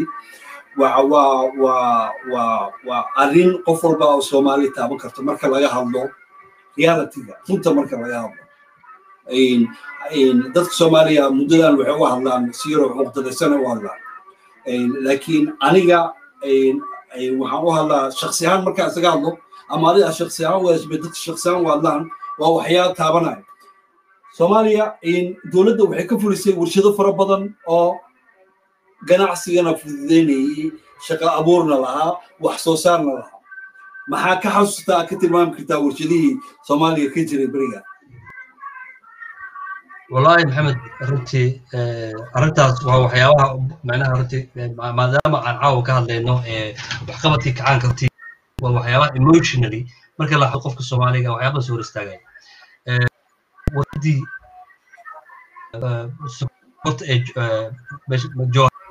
warshad macnaha runtii warshadii bal kabley kabley waxaa hilibka ee kismaayo ku taala in la sameeyey warshada hilibka xoolaha gasacadaysa hagaajiso. Special hilibka lo'da. Waa meesha hadda macnaha kiyaata ka degdegan yihiin oo meelaha ay ka mid tahay waa warshadii macnaha hilibka ee kismaayo warshadii laasqoray ee kalluunka runtii macnaha warshado waxaa jiray marka marka la eego waddanka isku filnaanshaha u gaaray warshadii caanaha macnaha warshado badan waxaa jira runtii inuu isku filnaansho gaaro warshadii fruitska soo saaraysa to warshadii waa macnaha wax lagu tilmaami karaysa jirin waatan waa ku sheegay warshadii marka balcad way jirtay dhigow runtii haddaa eeg macnaha wuxuu ahaa waddan waddan islaam dhisa buu ahaa way jirtay warshadii baastadaa jirtay marka warshado fara badanaa jiray okay hataa dadka waxaa ka maqan warshadaha noocaasa imise shaqaalaa ka shaqayn jiray imise cid baa ka faa'iidaysa imise ka faa'iidaysanaya macnaha waxaad moodaa dadka maalida wax walba inay u arkayeen in macnaha ay qof lahaa. Laakiin wax dadka ka dhexeeya ay ahayd wada lahaa istaraatiijiyada waddankii waxaa istaraatiiji runtii haddii macnaha waa calfo weyne. Laakiin haddii runtii noqon lahayd in sideetaa loo calfado in maanta soomaaliya ay ahaan lahayd waddamada afrika ugu horreeyo. Laakiin waxaad moodaa dadka soomaaliyeed inay kala garan waayeen wadda iyo mucaaradnimada inay kala garan waayeen oo wax walba dhanka kale loo rogay. Bay taa waa iman doonaa taa taa waa iman doonaa waxaan ka hadlaynaa xusuustii waxqabadkii dowladdii kacanka waxyaaba ay qabteen. Aan u soo kaco dhinaca badda soomaaliya waxaa ka dilaacday burcadbadeedaa ka dilaacday waxaa ka dilaacday maraakiib badan inay iska yimaadaan wax gurta kalluunka iska gurtaan. Dowladda soomaaliya maanta joogto waxay ka qaban laadahay waa garan laadahay badda dhinaceeda maba la fiiriyaba ma fiiriyaanba because waxay ku xun yihiin badda wax ma ka qaban karaan. Waa fahansamo waxyaabaha xusuusta keenayo xusuusta nuu reeba waxaa ka mid ah inay dowladda soomaaliya leedahay ciidan aad u ballaaran oo ciidanka badda ah oo hubaysan maraakiib badan leh badda soomaaliya geeska geesna ayn awood u lahaa. Maxaa xusuus maxaa ka xasuustaa adiga dhinaca badda ciidanka badda iyo? Waxyaabaha aan aad u xusuusto waxaa ka mid ah oo ahaa iskoolkii soo saari jiray macnaha istiraatiiji ahaan dhibaatada na haysato ee badda naga haysato ardaydii macnaha markaas ka soo bixi jirtay ha noqoto marineska ha noqoto ha noqoto aviationkii maraakiibta dhallinyarada control jirtay. Ha noqoto macnaha dadkii istiraatiiji ahaan badda xataa khayraadkeeda soo saari lahaa sida wax looga qaban lahaa sida looga faa'iidaysan lahaa. Waxyaabahaas dhan iskool baa iskool dugdida sare badda la oran jiray. Oo macnaha runtii ahaa iskool soo saari jirtay. Arday laga soo saari jiray. Macnaha ku saabsan waxbarashada iyo fikiskooda u yahay marka runtii badda dhibaatada ku dhacday maanta in badeeni kiisi cid walba ay qaadato in burcadbadeed waxa la yidhahda ay samaysmaan oo loo soo in maanta macnaha aanaynin badda soomaaliya haddaad laba mayl hore marka xabad isaga dhufanaya hadduu leeyahay burcadbadeed baa tahay in maanta macnaha dabcan waxay kutusaysaa in shaarki aan lahaynna lala haysto. Macnaha shaarki shaarki aad gashan. In haddii lagula haysto dhibkiisu leeyahay. Macnaha deeraankiis dadka lahaayeen ayaa dhinac la haystaa. La yeeshay. Firi laba mayl haddaad badda socotid xabad baa laga yaaba inay kugu dhacdo oo la yiraa burcadbadeed baa tahay. Tadmiris waa nin deeraankiisi wax ku dhaansanayay geeska lala haysto nin kale la haysto uu leeyahay markaad biyaha ka soo saartid anaad ku shubanaya adiga kuma shubanaysid macnaha waxay ka mid tahay waxyaabaha runtii ima marka la eego qofka soomaaliya dhaawacyo fara badan ku keenayso in qof hadidiisi uu lahaa dad kale la haystaan marka badda badda soomaaliya waxa anigu waxa ku tilmaama ma garanayaba waa waa waa waa waxyaabo oo waxaa waaye bini aadanka adigu xumaadaan laakiin ay u baahan tahay in wax laga qabto aan u soo noqonno dhinaca hospitalityga soomaaliya gudaheedu waxay lahayd dalxiis internationalka looga iman jiray gudahana dalxiisa looga iman jiray waxaa jiray meelo badan oo dowladda ay samaysay hoteelo badan oo waaweyn ay dowladda samaysay oo waddanka geesaha dhan ku yaalay oo dalxiiska loo tegi jiray lagu caweyn jiray waddanka isku furnaa dalxiiska dibadda ka imaan jireen dadka dhinaca dhinaca dhinaca hoteelada waxaas maxaa ka xasuustaa hoteeladii beriga ugu ugu caansanaa iyo dhinaca dalxiiska meelaha loo dalxiisi jiray maxaa ka xasuustaa wallaahi runtii markay dalxiiska noqoto waxyaabaha runtii ee markaan aniga soo xasuusto aan aad ula yaabo waxaa ka mid ahaa in waxaan xasuustaa year eight annaga aan samaynay aan waddanka gudihiis dalxiis ku marnay. Marka hoteelo aad su casraysa udhisnaa jabba hoteelo fara badan. Macnaha inay jireen runtii wasaaradan oo dalxiiska qaabilsan waxyaaba badan kaa qabtinaysa dalxiiska noqoto. Kismaayo waxaa ku yaallay hoteelo aad dalxiisa ku yaallay marka sidoo kale ku yaallay afgooye waxaa ku yaallay meelo beero weyn oo dowladdu diyaarisay oo loo dalxiis tegi jiray oo runtii ay dowladdu markaas u diyaaray dadka soomaaliyeed in waktiga lagu soo qaato oo loo tago weliba waxyaabaha mucjisada waxaa ka mid ahaa in micnaha beeraha intaas la eg iyo dhulka la eg in free lagu geli jiray free jiray free loo tegi jiray beerahaas ay dowladda lahayd xataa in beeraha ka soo baxa dadka free ay ku qaadan jireen. Marka runtii waxay ahayd dabcan waxyaabaha u baahan in dib loo dib intii loo raadiyo la yidhaahdo aan dib ugu noqono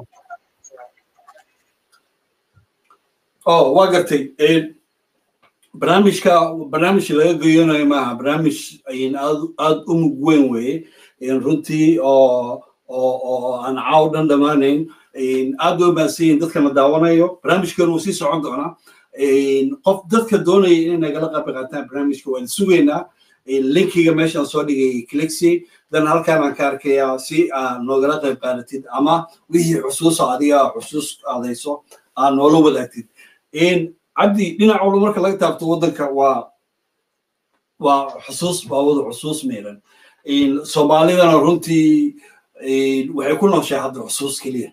Macnaha waxaa la haray in in la xusuusto oo beri baan waxaas lahaan jirnay beri baa waxaas lahaan jirnay in macnaha xusuustii ay ay intaa noqoto. Soomaaliya waxay ku taallaa sooma east africa ku taallaa sooma soomaaliya dowladdii soomaaliya aad bay ahayd dowlad aad u hanweyn maamulka markaa jira wuxuu ahaa maamul adkeysi badan shaqooyin badan qaban jiray. Dhinaca waddanka gudihiisa iyo dibaddiisaba cilaaqaadka ula lahaa. Waxaa jiri jiray dowlado badan inay soomaaliya mid ka mid ahayd. Wadamadii markaa africa isku dayay inay si awood ah ku xoreeyaan waddamada aan xorta ahayn ama markaa caawiyaan dhinaca waxbarasho ka caawiyaan waddan ahaana ka caawiyaan ciidan ha u diraan soomaaliya waxay ka qayb qaadan jirtay gurmadka waxyaabaha keeno cimilada ay keenaan ay ka qaadan jirtay. Maxaa ka xasuustaa waxyaabahaas wadamadii soomaaliya marka ay wax ka qabatoo kale? Maxaa ma ka xasuustaa dabcan maxamed waxaa ka mid ahaa waddanka tanzania micnaha waddan malawi way jirtaa uganda sidoo kale. Waxay wadamo waxaa jiro dowladda soomaaliya shirkii africa tanzania waddanka la yidhahdo mozambique oo berigii hore zimbabwe way ku jirtay oo ay soomaaliya development shirkii nineteen seventy two lagu qabtay muqdisho ee africa. Wadamo waxay jiray runtii dadaya istiraatiiji ahaan ay dejisay sida ay development u samayn lahayn oo maanta ka mid ah waddamada africa ugu horeeyo oo xilligaas magaalada muqdisho lagu dejiyey istiraatiijigii sida ay u noolaan lahaayeen. In macnaha ay dowladda soomaaliya ay qortay ay diyaarisay midooda africa ay hor dhigtay dowladaha afrikaanka sidaan ayay wadda dhibaatada uga bixi karaan ay maanta ka mid yihiin waddamada ugu horreeya africa macnaha dowladda soomaaliya markaa jirtay inuu ka yimide marka taa waxay kutusaysaa in dowladda soomaaliya markii ay macnaha waddankeedii macnaha waxay ka qaban kartay dadkeedii ay ka saartay dhiirigii in ay waddamada afrika u gudubtay.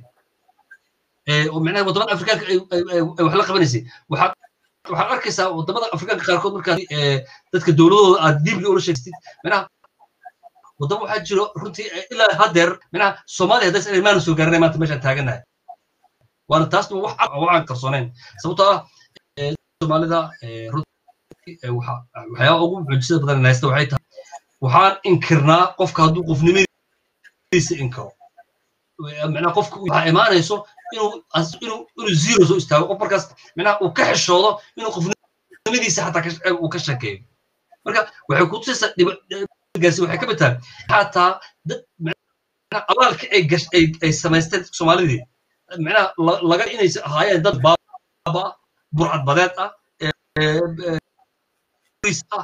macnaha aanan ahayn dad macnaha aragti fog leh waxna keeni waxna halabuur la lahaa.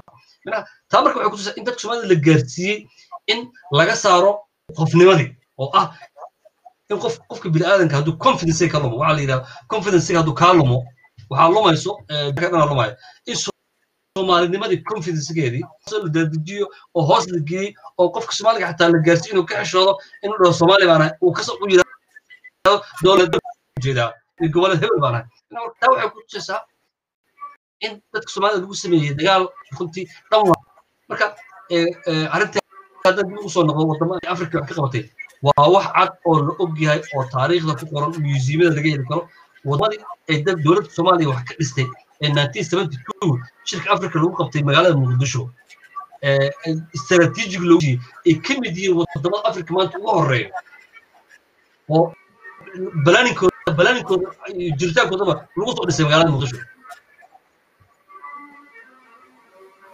waa gartay waa gartay aadda oo maadsan tahay kaasi wuxuu ahaa cabdire oo ila daadeena barnaamijka cabdire arrinta aaday u guda weyn tahay. Aan soo qaato dhinaca soomaalida badadeedu waxay u badan yihiin caafimaad soomaalida waxay leeyihiin murti waxay leeyihiin fanka dhinaca. Markaan soo qaadano dhinaca murtida iyo madadaalada waxaad arkaysay dhowaan dowladda hadda jirta ee dowladda madaxweyne farmaajo. Inuu la daalaa dhacay sidii uu casriyeyn lahaa ama u dhisi lahaa tiyaatarka iyo stadiumka waxyaabaha bulshada ay mahaweel ahaan u hadasho ka waran murtidii iyo madadaaladii iyo hobolladii waa beri maxaa ka xasuustaa wallahi haddaa eegtid waddanka hadduusan lahayn dad macnaha waddaniyadooda iyo waddaniyad iyo waddankooda wuxuu uga sheekeeya ama ha noqoto ama sugaan ha noqoto ama buug la annagu xilliga aan waxaana la baray afka soomaaliga waxaana la baray erebixinta waxaana la baray mahmahayada soomaaliga waxaana la baray suugaanta soomaalida waxaana la baray taariikhda dadka soomaalida taariikhdooda cidda ay ahayd iyo soomaalinimada waxay ahayd. Dad waxaan ahayn laga saaray dhulka ah qabyaaladda. Macnaa xilligii aan primary school waxaana la baray in soomaali ay tahay in taasna waxaa in golayaashii macnaha loogu talagalay arrimahaas ay diyaariyaan. Haddaan dib noqo golihii murtida madaal waxaad la socotaa in golihii murtida madaalada uu ahaa golihii ugu sarreeyey ee sugaanta soomaalida. Jiray ha noqoto wasaaraddii horaa warfaafinta iyo hanuuninta dadweynaha ayaa la oran jiray. Waxay ku tusaysaa in wasaaradan aadanka maskaxdiisa dhisto. Wasaaraddii macnaha macnaha development u samaynaysa hanuun dadweynaha. Waxay ku tusaysaa in runtii ay dadka loo sameeyey wasaaradan oo dadka maskaxdooda dhisto.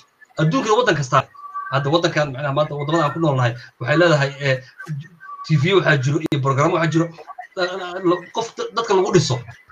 Marka dowladdan farmaajo waxyaaba aad macnaha aan runtii aan ugu mahad celin waxaa ka mid ah in ay list waxyaalaha qaarkood soo celiso sida eh, madaxafka qaranka maktabadii eh, eh, istaadiyamyadii wixii ummadda ka dhexeeyey micnaha runtii an is way to go in taas naftiga dib loo hagaajiyo tiyaatarkii maaragtay iskaaqabsaa markii horena iska dadka soomaalida inay isku filnaansho gaari karaan ereyga iskaax u qabso waxaa moodaa dadka qaarkood qaarba waxay u qaata iska wax qabso dadka in micnaha xoog loo isticmaalaya ereyga iska wax u qabso waxaa weye in uu tuso confidence ah in waddanka half of them iska wax qabsaa lagu dhisay jira iska wax qabsaa lagu dhisay maanta maanta waxay tustay in micnaha maxamed cabdullahi farmaajo waxyaabaha uu dadka dib u soo noolay in uu yiri iska u qabto waxa la waxaa jira dadka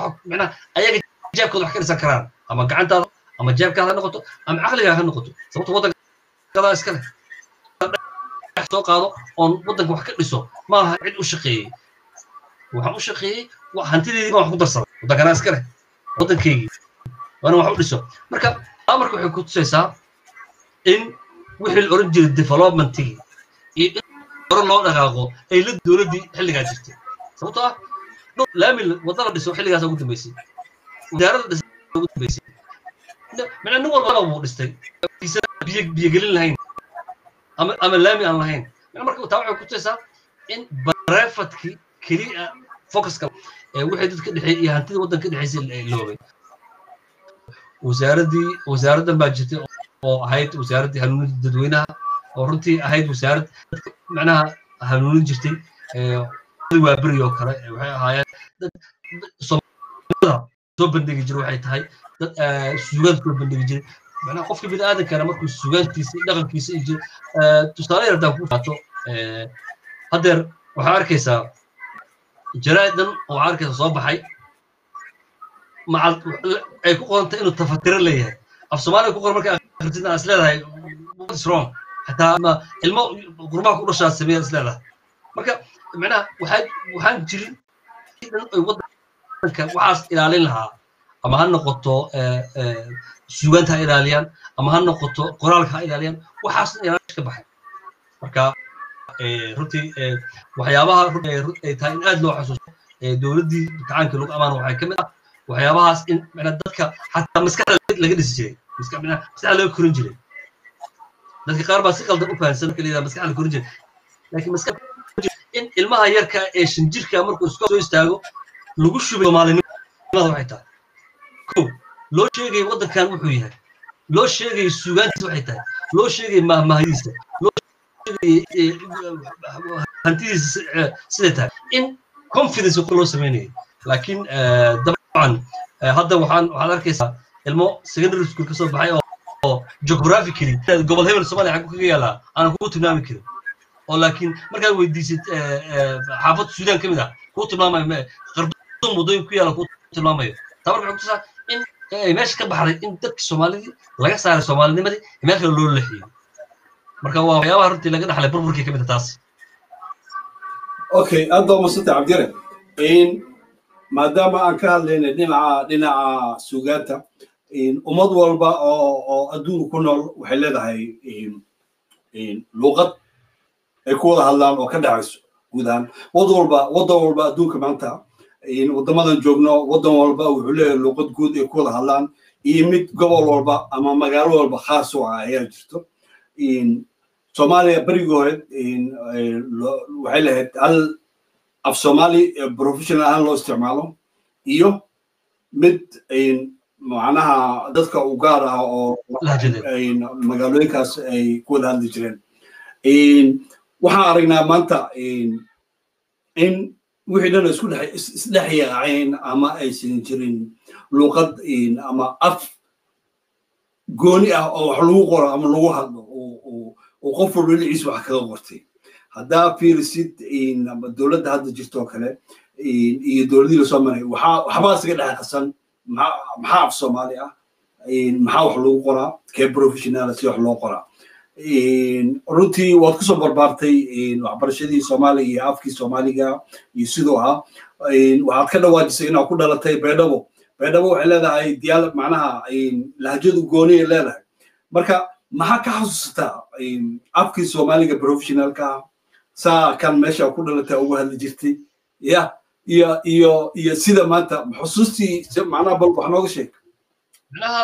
Runtii runtii u baahan in eh, dadka fahansiiyo eh, eh, in ay jirtay luqada soomaaliga ah ay luqad jirtay oo qoran oo diyaarsan ahayd oo dadka wax lagu bar jiray. Macnaha from a to z micnaha gobol walba oo soomaaliya ka mid ah iyo degmo walba soomaaliya iyo meel walba soomaaliya ka mid ah. Inay ahayd diyaarsan istaraatiijiyaan waxbarashada xiladiis laakiin ay jirtay lahjada isticmaal jiray. Haddeer manhajka waxbarashada u k markaan u soo qaato manhaj inanka liverpool degan qoran inuu ingiriis wax ku barto. Laakiin uma qorna luqadda lahjad ahayd. Inuu wuu ku hadli karaa wuu isticmaali karaa laakiin marka uu macnaha istiraatiijiya wax qorayo ama wax akhrinayo luqadda english wax ku akrinaya kuna qoraya taa marka waxay ku tusay in annaga xilligaas annaga ku hadlayno afka baydhabo lagaga hadlo oo si professionala laakiin aan awoodka soomaaliga qorno akhrino seetax u samayno. Raa'idada ka soo baxo waddanka oo dhan aan akhrin karnay. Laakiin maanta ninka soddon jirka ee soomaaliya joogo waxaa in xataa jaraa'idada qaarkood af soomaaliga u akhristo. Buugta soomaalida u akhristo. Waan sababta keenaysa soomaalida waxyaaba ay ka lumaan sababta xataa markaas sugaanta aan ku hadli karin inuu ayad u akhrin karay u fahmi karay marka runtii waxyaabaha aadka aan ka mid ah magaalada baydhabo kale in lagaga hadli jiray afkaan afka mayga la yidhaahdo oo af aad xadaare af aad iyo aad u qurux badan ah oo runtii weliba dadka ku hadli jireen ay markaas ahaayeen soomaali dadka degan gobolka ahaayeen oo weliba aan professional annaga inoo ahayd in aan ku fahnan afka mayga aan ku hadalno dadka macnaa ay deeri noo tahay laakiin soomaalinimada soomaaligii weli jiray. Marka waxyaabaha waxay ka mid tahay runtii u baahan in lagu faano. Maanta aniga waxyaabaha aan kaga nasiib badan waxay la mid tahay jiilka hadda maanta. In maanta ninka gobollada qaarkood joogo uusan awood u lahayn inuu helo inuu luqadahaas macna lahjada soomaaliya su baran karo in uu gobol walba oo soomaaliya wuxuu yahay fahansan yahay laakiin hal meel oo dabara uu ku jiro. Oo lagu yiri adaa tahay? Gobol hebel baa ka soo jeedaa waa intaa laakiin maanta gobol ee soomaaliya sida ay istiraatiijikal yihiin sida ay yihiin luqadda lagaga hadlo deegaan ahaan siduu yahay geographical ahaan siduu yahay knowledgekeeda haynin. Laakiin hal meel xaafad yar isugu geeyey marka runtii madacday ka mid tahay dadka jiilka jiilka yaryar ee soomaalida. Laakiin i hope in la helo one in arrintaas macnaha dadka soomaalida ay ka gudbi doonaan. Maasanid barnaamij yar oo video yar aan aan yara xoogaa oo xusuus ah. Maritaankii ko iyo labaatankii oktoobar kun sagaal boqol lixdan sagaalkii iyo sidii loo xusi jiray marar badan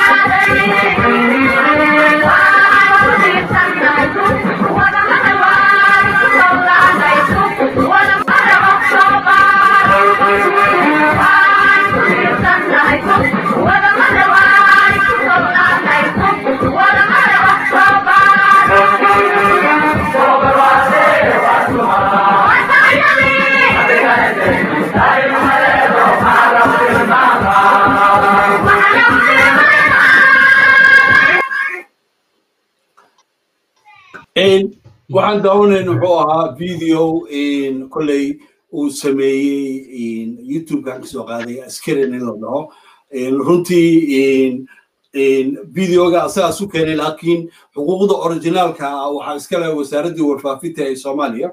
Runtii waa nin aad u mahadsan yahay shaqadaas uu qabtay. Meesha video ka soo qaadana wuxuu sheegayay bandhigii ko laatanka october ko laatanka october badi waxaa lagu soo bandhigi jiray waxqabadkii towradii marka ay qabatay internal ahaan waxyaabahay qabteen waxyaabahay la soo baxeen waxyaabahay sameeyeen awoodooda ciidanka iyo dhinac walba. Waxaa jiri jirtay in iskuullada gobollada gobollada meel walba caasimada muqdisho gobollada ay ka qayb qaadan jireen shaqaalaha dowladda ka qayb qaadan jireen dhinac walba hooyooyin dhinac walba adigu cabdiyare weli ma martay octoberta ma ka qayb qaadatay. Adigoo ama ama iskuul ama askari ah ama shaqaalo dowladeed. Ama ka qayb qaadatay.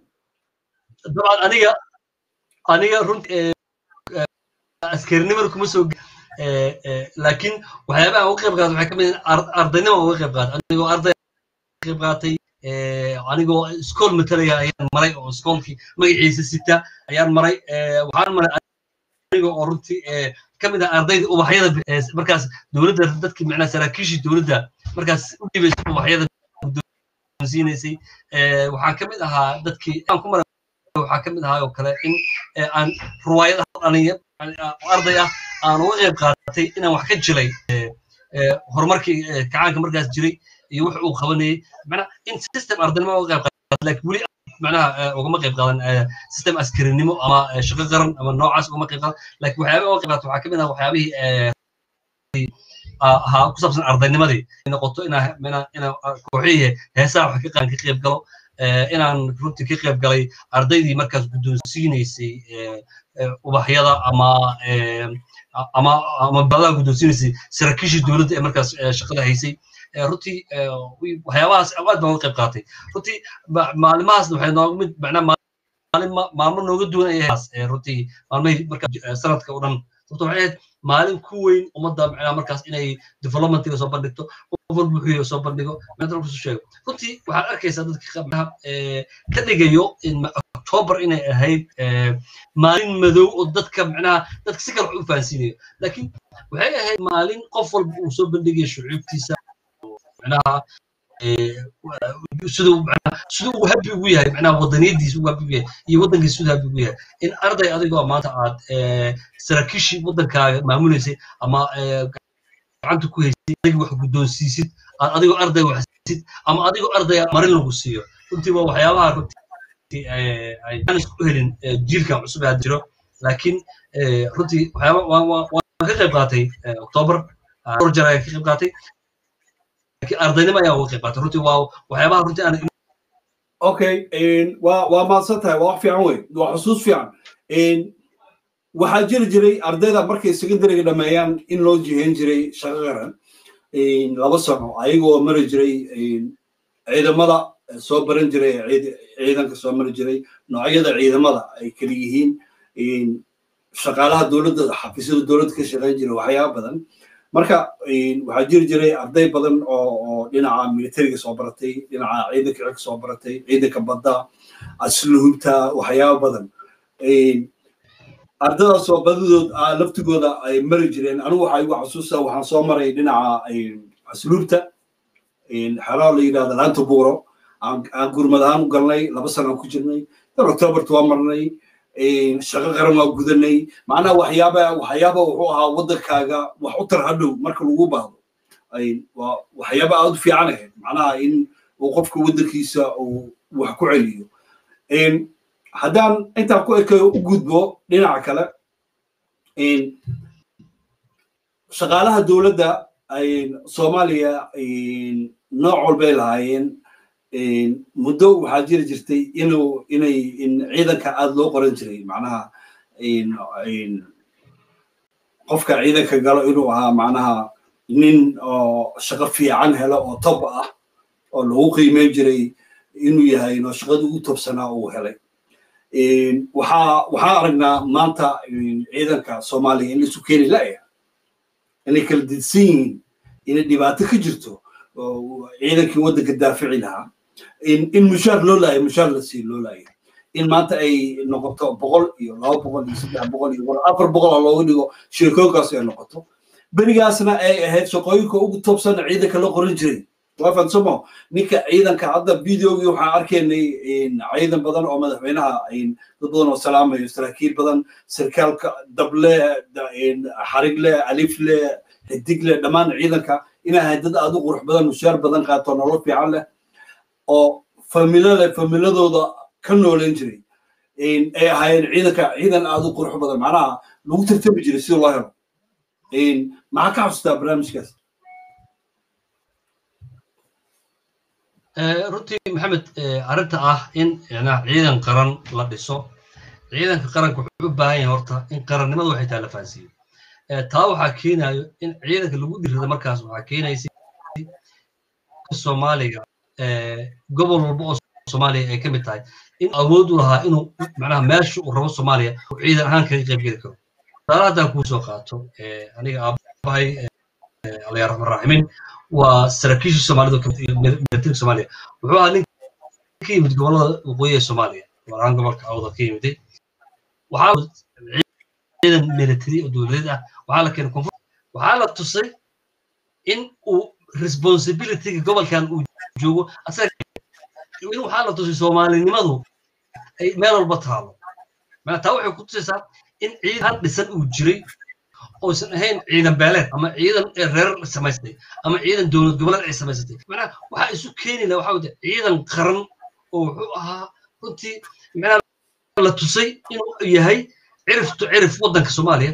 Meel kastoo la geeyo inuu sarkaal soomaaliyeed ama ciidan soomaaliyeed inuu yahay uu xaq u leeyahay inuu difaaco marka waa sababta mas'uuliyad leeyahay waxaad arkaysaa ciidankii baa la dhisi leeyahay ciidankii baa al-shabaabka adkaan ninka ninka lagu yiri reer hebel baa tan magaalo hebel ciidan ka tahay soomaali ciidan qaran soomaali ma arkaba marka waxay ku tusaa haddaan ku soo qaato koonfurta soomaaliya oo macnaha meelihii baaray oo runtii aan aan ku garaadis ka mid ah ninety percent waxaa gacanta ku hayay ninety percent saraakiisha gacanta ku haysay ha noqoto military walba ha noqoto waxay ahaayeen saraakiil soomaaliya taa waxay ku tusaysaa marka in awoodda ciidanka qaranka soomaaliya oo qarannimo soomaaliyeed ay jirtay.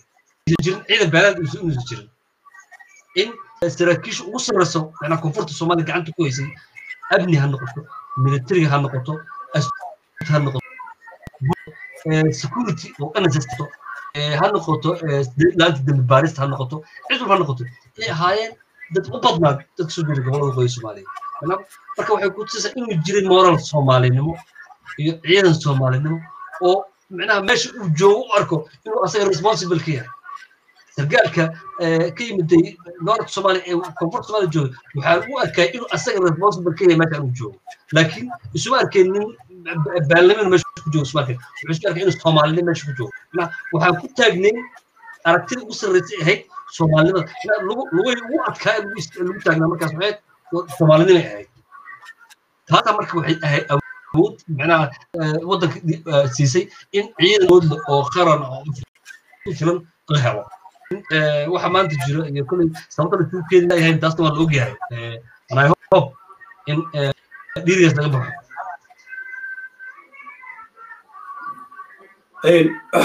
aad baa umahadsan tahay barnaamijkeena waa barnaamij aan laga geyoonayn waa barnaamij aada xiiso leh waa barnaamij xusuus reeb ah lagu reebay xusuustii iyo kiiro iyo dhammaan waa sanad guuradii maantoo kale maantoo kale waxaa la mari jiray magaalada muqdisho tarbuunaha waxaa la mari jiray gaardi waxaa la soo bandhigi jiray waxqabadkii dowladda la soo bandhigi jiray dhinac walba waxaa mari jiray shaqaalihii ardaydii hooyooyinkii ciidankii waxay dhan wixii la haysto dowladdaas iyo waddankaas wuxuu haysto meesha ku soo bandhigi jireen caawo kalena xafladihii heesihii yaa jiri jiray. Macnaha waa waa waa waa la heesi jiray.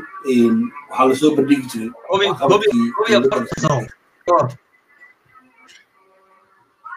Ha koob iyo afartan sano ka hor. Macnaha waxaa aragtaa inaan in ay jirtay group ay ka go'nayd inay waddankan iyo dadka wax u qabtaan runtii oo ahayd awood fara badan oo maskaxda iyo dadka markay isku biirsadaan maskaxdooda iyo awooddooda iyo si daacadnimo wax u qabtaan horumar ku sameynaa ya go ahead haddaa wadi joogaa xilligaa waa koobi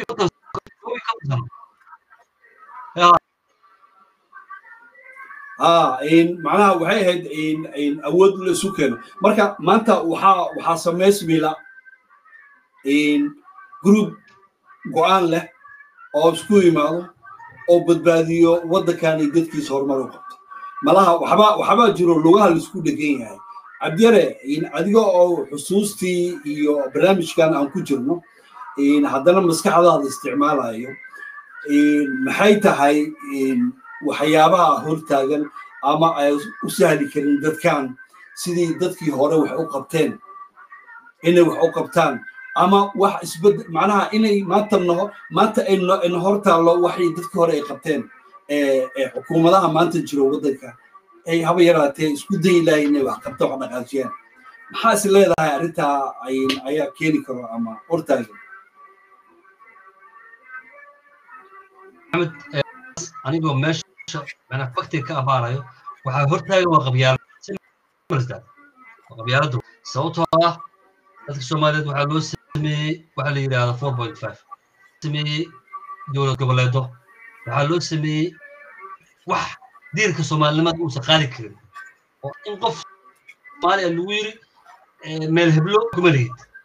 Gobol hebel waxba kuma lihid. Manaha aragtidaada iyo cabirkaaga iyo soomaalinimada waxay ku kooban tahay xaafad hebel. Macnaha meeshaas ayay taa marka waxay ku tusaysaa in runtii la gaarsiiyey dadka soomaalida meesha ugu horre ugu qof bilaadanka la gaarsiiyo. Marka sidee looga bixi karaa? Waa laga bixi karaa daban waa laga bixi karaa. Waxaa looga bixi karaa in qofka soomaaliga ah uu soomaalinimada horta fahmo. Soomaalinimada maxay tahay yaa yaa soomaaliya yaasan soomaali ahayn soomaalinimada yaa xaq u leh inuu qofka biniaadanka soomaali macnaha soomaaliga uu fahmo inuu qof soomaali yahay soomaalinimada ciise ka hortaag ka hor istaagi karin soomaalinimo in la abuuro taa marka waxay waxay macnaha noqonaysa in in la abuuro jiil ka madax bannaan qabyaaladda oo runtii soomaalinimada ay kaga eg tahay in qof qof soomaali yahay soomaalinimadan ay tahay waxa macnaha lagu wada wax ka hooseysa aysan jirin runtii macnaha waxay u baahan tahay waqti dheer ay u tahay waddanka burmur badan baa ku dhacay waxaa la gaarsiiyey tacadi fara badan baa dhacay magacii qabyaaladda ee waxaa loo arrimo aad u foolxun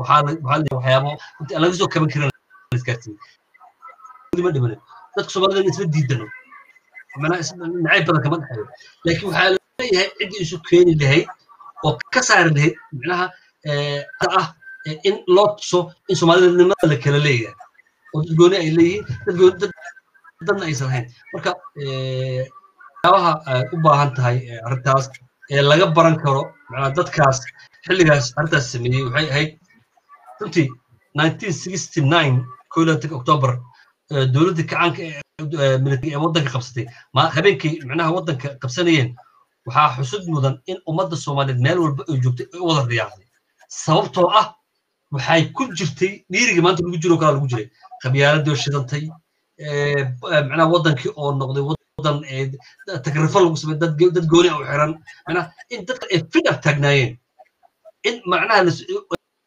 uu dhacay ku daadan dhib ka dhicin oo la soo dhoweeyey oo cid walba u cabatuntay marka taa waxay in dadka soomaalida la hogaamin karo oo la karo haddii la helo dad mabda oo mabda'ooda ka dhabayn karo. Waa macnaha in la helo dad mabda'aas aysan raggaas waxaa u suurtageliyey inay macnaha meeshaas gaarsiiyaan. Ma ahayn ree hebel iskumay raacin saraakiishii arrintaas fulisay macnaha horseeda kacaankii ay macnaha development horumar gaarsiiyaan. Qabiil iskumay raacin waxay isku raaceen arti ah in ummadda soomaaliyeed la hago oo loo hago xagga wanaagga. Marka in haddii la helo group soomaaliyeed oo soomaalinimada ka sokeeya aan aaminsanayn isku raaco soomaalinimada laga saaro dhibaatada haysato laga saari karaa runtii. Haddii lagu dadaalana waa runtii dabcan. Raggii raggii awooddaas berigaas isku raacay kama macnaha maanta hadday noqoto aqoon ahaan hadday noqoto lagama aqoon badnayn ragnimo badnayn keliya waxayna dheeraayeen confidencemadayna dheeraayeen macnaha way naga soomaalisanaayeen sababtoo ah reer hebel ma taagnaayeen meesha ugu sarreysa ah soomaalinimada marka runtii waa arrin u baahan riyo waa la samayn karo waa wax la awoodo macnaha la gaari karana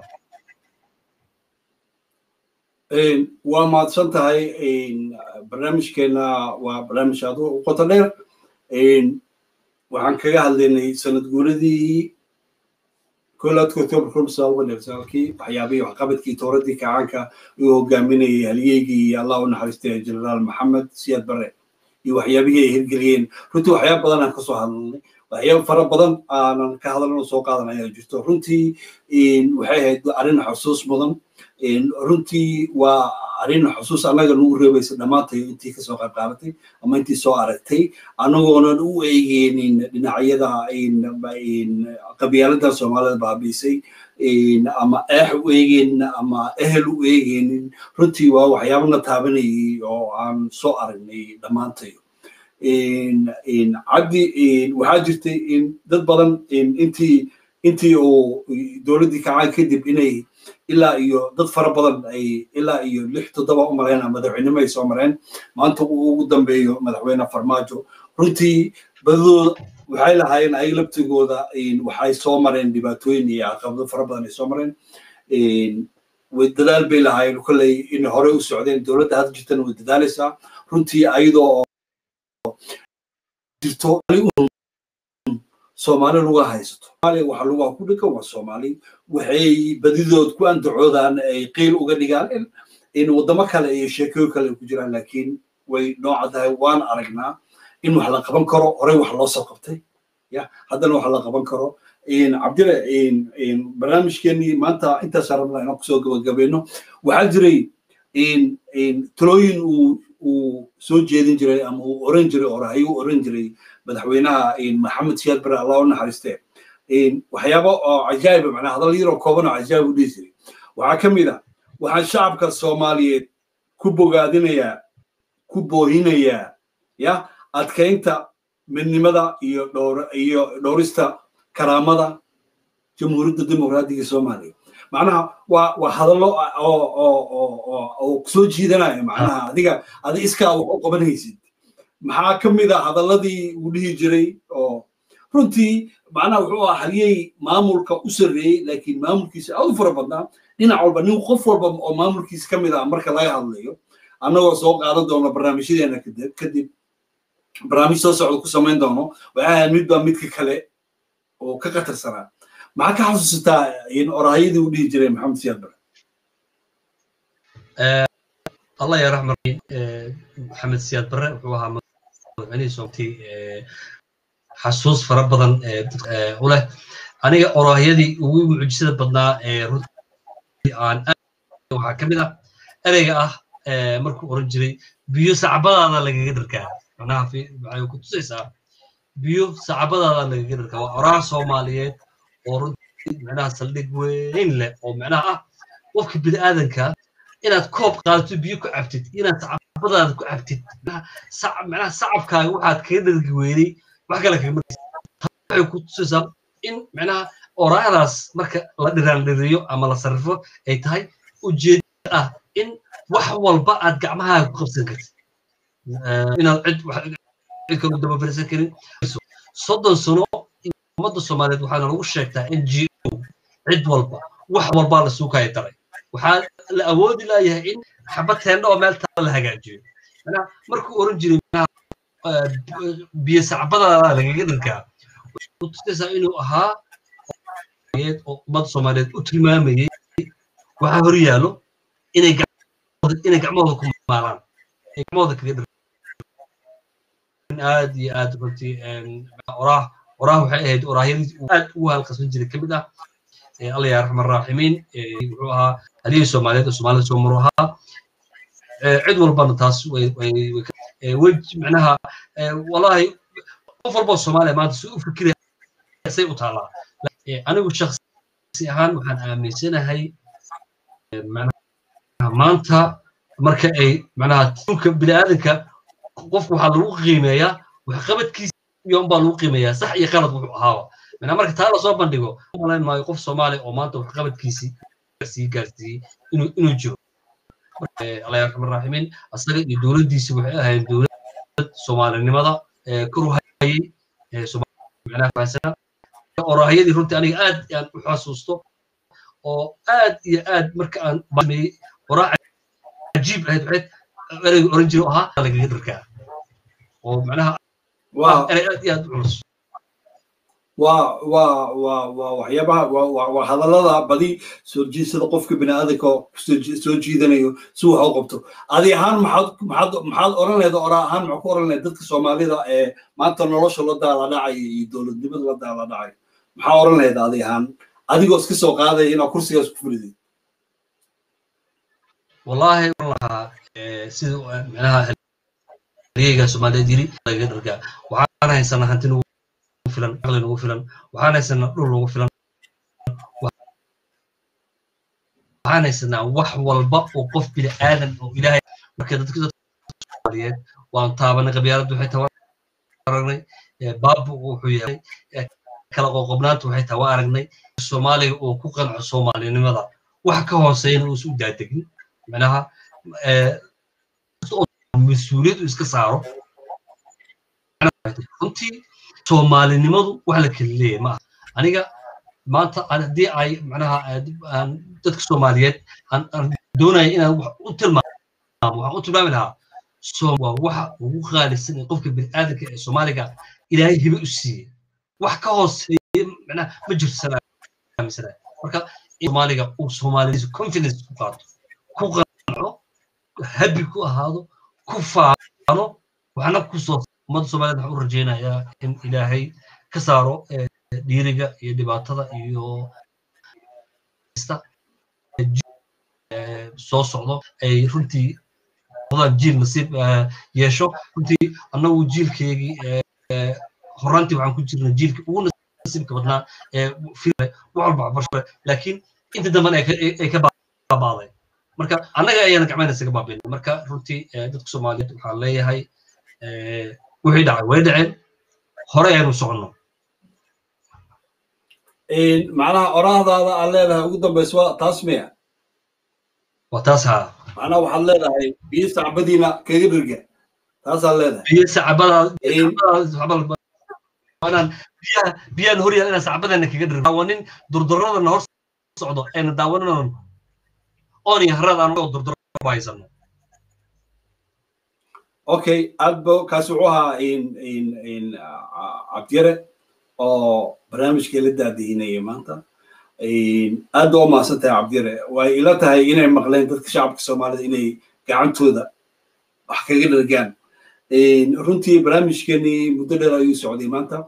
Waxaana barnaamijyada dambe aan kaga hadli doonaa sidii dowladdii dadkii maxamed siyaad bare allah u naxariiste dadkii la shaqeynayay waxqabadkii ay qabteen waxyaabana barnaamijyo badan. Dad badan aan ku soo casumi doonaa hadduu la yidhaahdo anigu laftiga waxaan ku boorinayaa dadweynaha shacabka soomaaliyeed inay adkeeyaan midnimada iyo dhowrista karaamadooda karaamada dowladda iyo karaamada shacabka soomaaliyeed inay inay adkeeyaan ay ka dhigtaan wax muhiim ah. Biyana gacmahooda kaga dhargaan ileen. Biyaha gacantaada kaga dhargaya saa oo qabsatid. Barnaamijkeenii sanad guuradii ko ilaatanka octoobar kun sagaal boqol lixdankii oo aana kaga hadlaynay waxqabadkii towraddii kacaankii oo hogaaminayay halyeygii allah u naxariistee generaal maxamed siyaad barre. Runtii waa u xiisnay. Waa wax laga keri karana maaha runtii. Weli raqdii waa taallaa. Weli waxyaabihii ay dowladdaas samaysay la macaashtaa oo macnaha la isticmaalaa weli gawaaridii dowladdii dowladdaas ay isticmaalaysay waa la isticmaalaa waa fansomo waxyaabo badan oo halkan lagu soo koobi karin ayaa jiro ay dowladdaas qabatay. Barnaamijkeenan iyo mid la mid aba waa airo t v. Waa anigoo moha abi oo idin aad baad u mahadsantihiin intii nagala qayb qaadatay commentiga intii doonaysay inay nagala qayb qaadato barnaamijka liveka u suurtageli waaye cilad farsamo iyo dhinac walba awgeed cabdiraxmaan aad baa u mahadsan tahay kolley kuwii biyaha gacmahooda sacbadooda kaga dhargo allaha naga dhigo aad baa mahadsantay aad baa mahadsantay dhammaan daawadayaasha aad baa mahadsantihiin waa airo t v oo markeeda leh sanad guura wacan koo iyo labaatanka oktoobar labaatanka iyo labaatan labada kun iyo labaatanka aad baa mahadsantihiin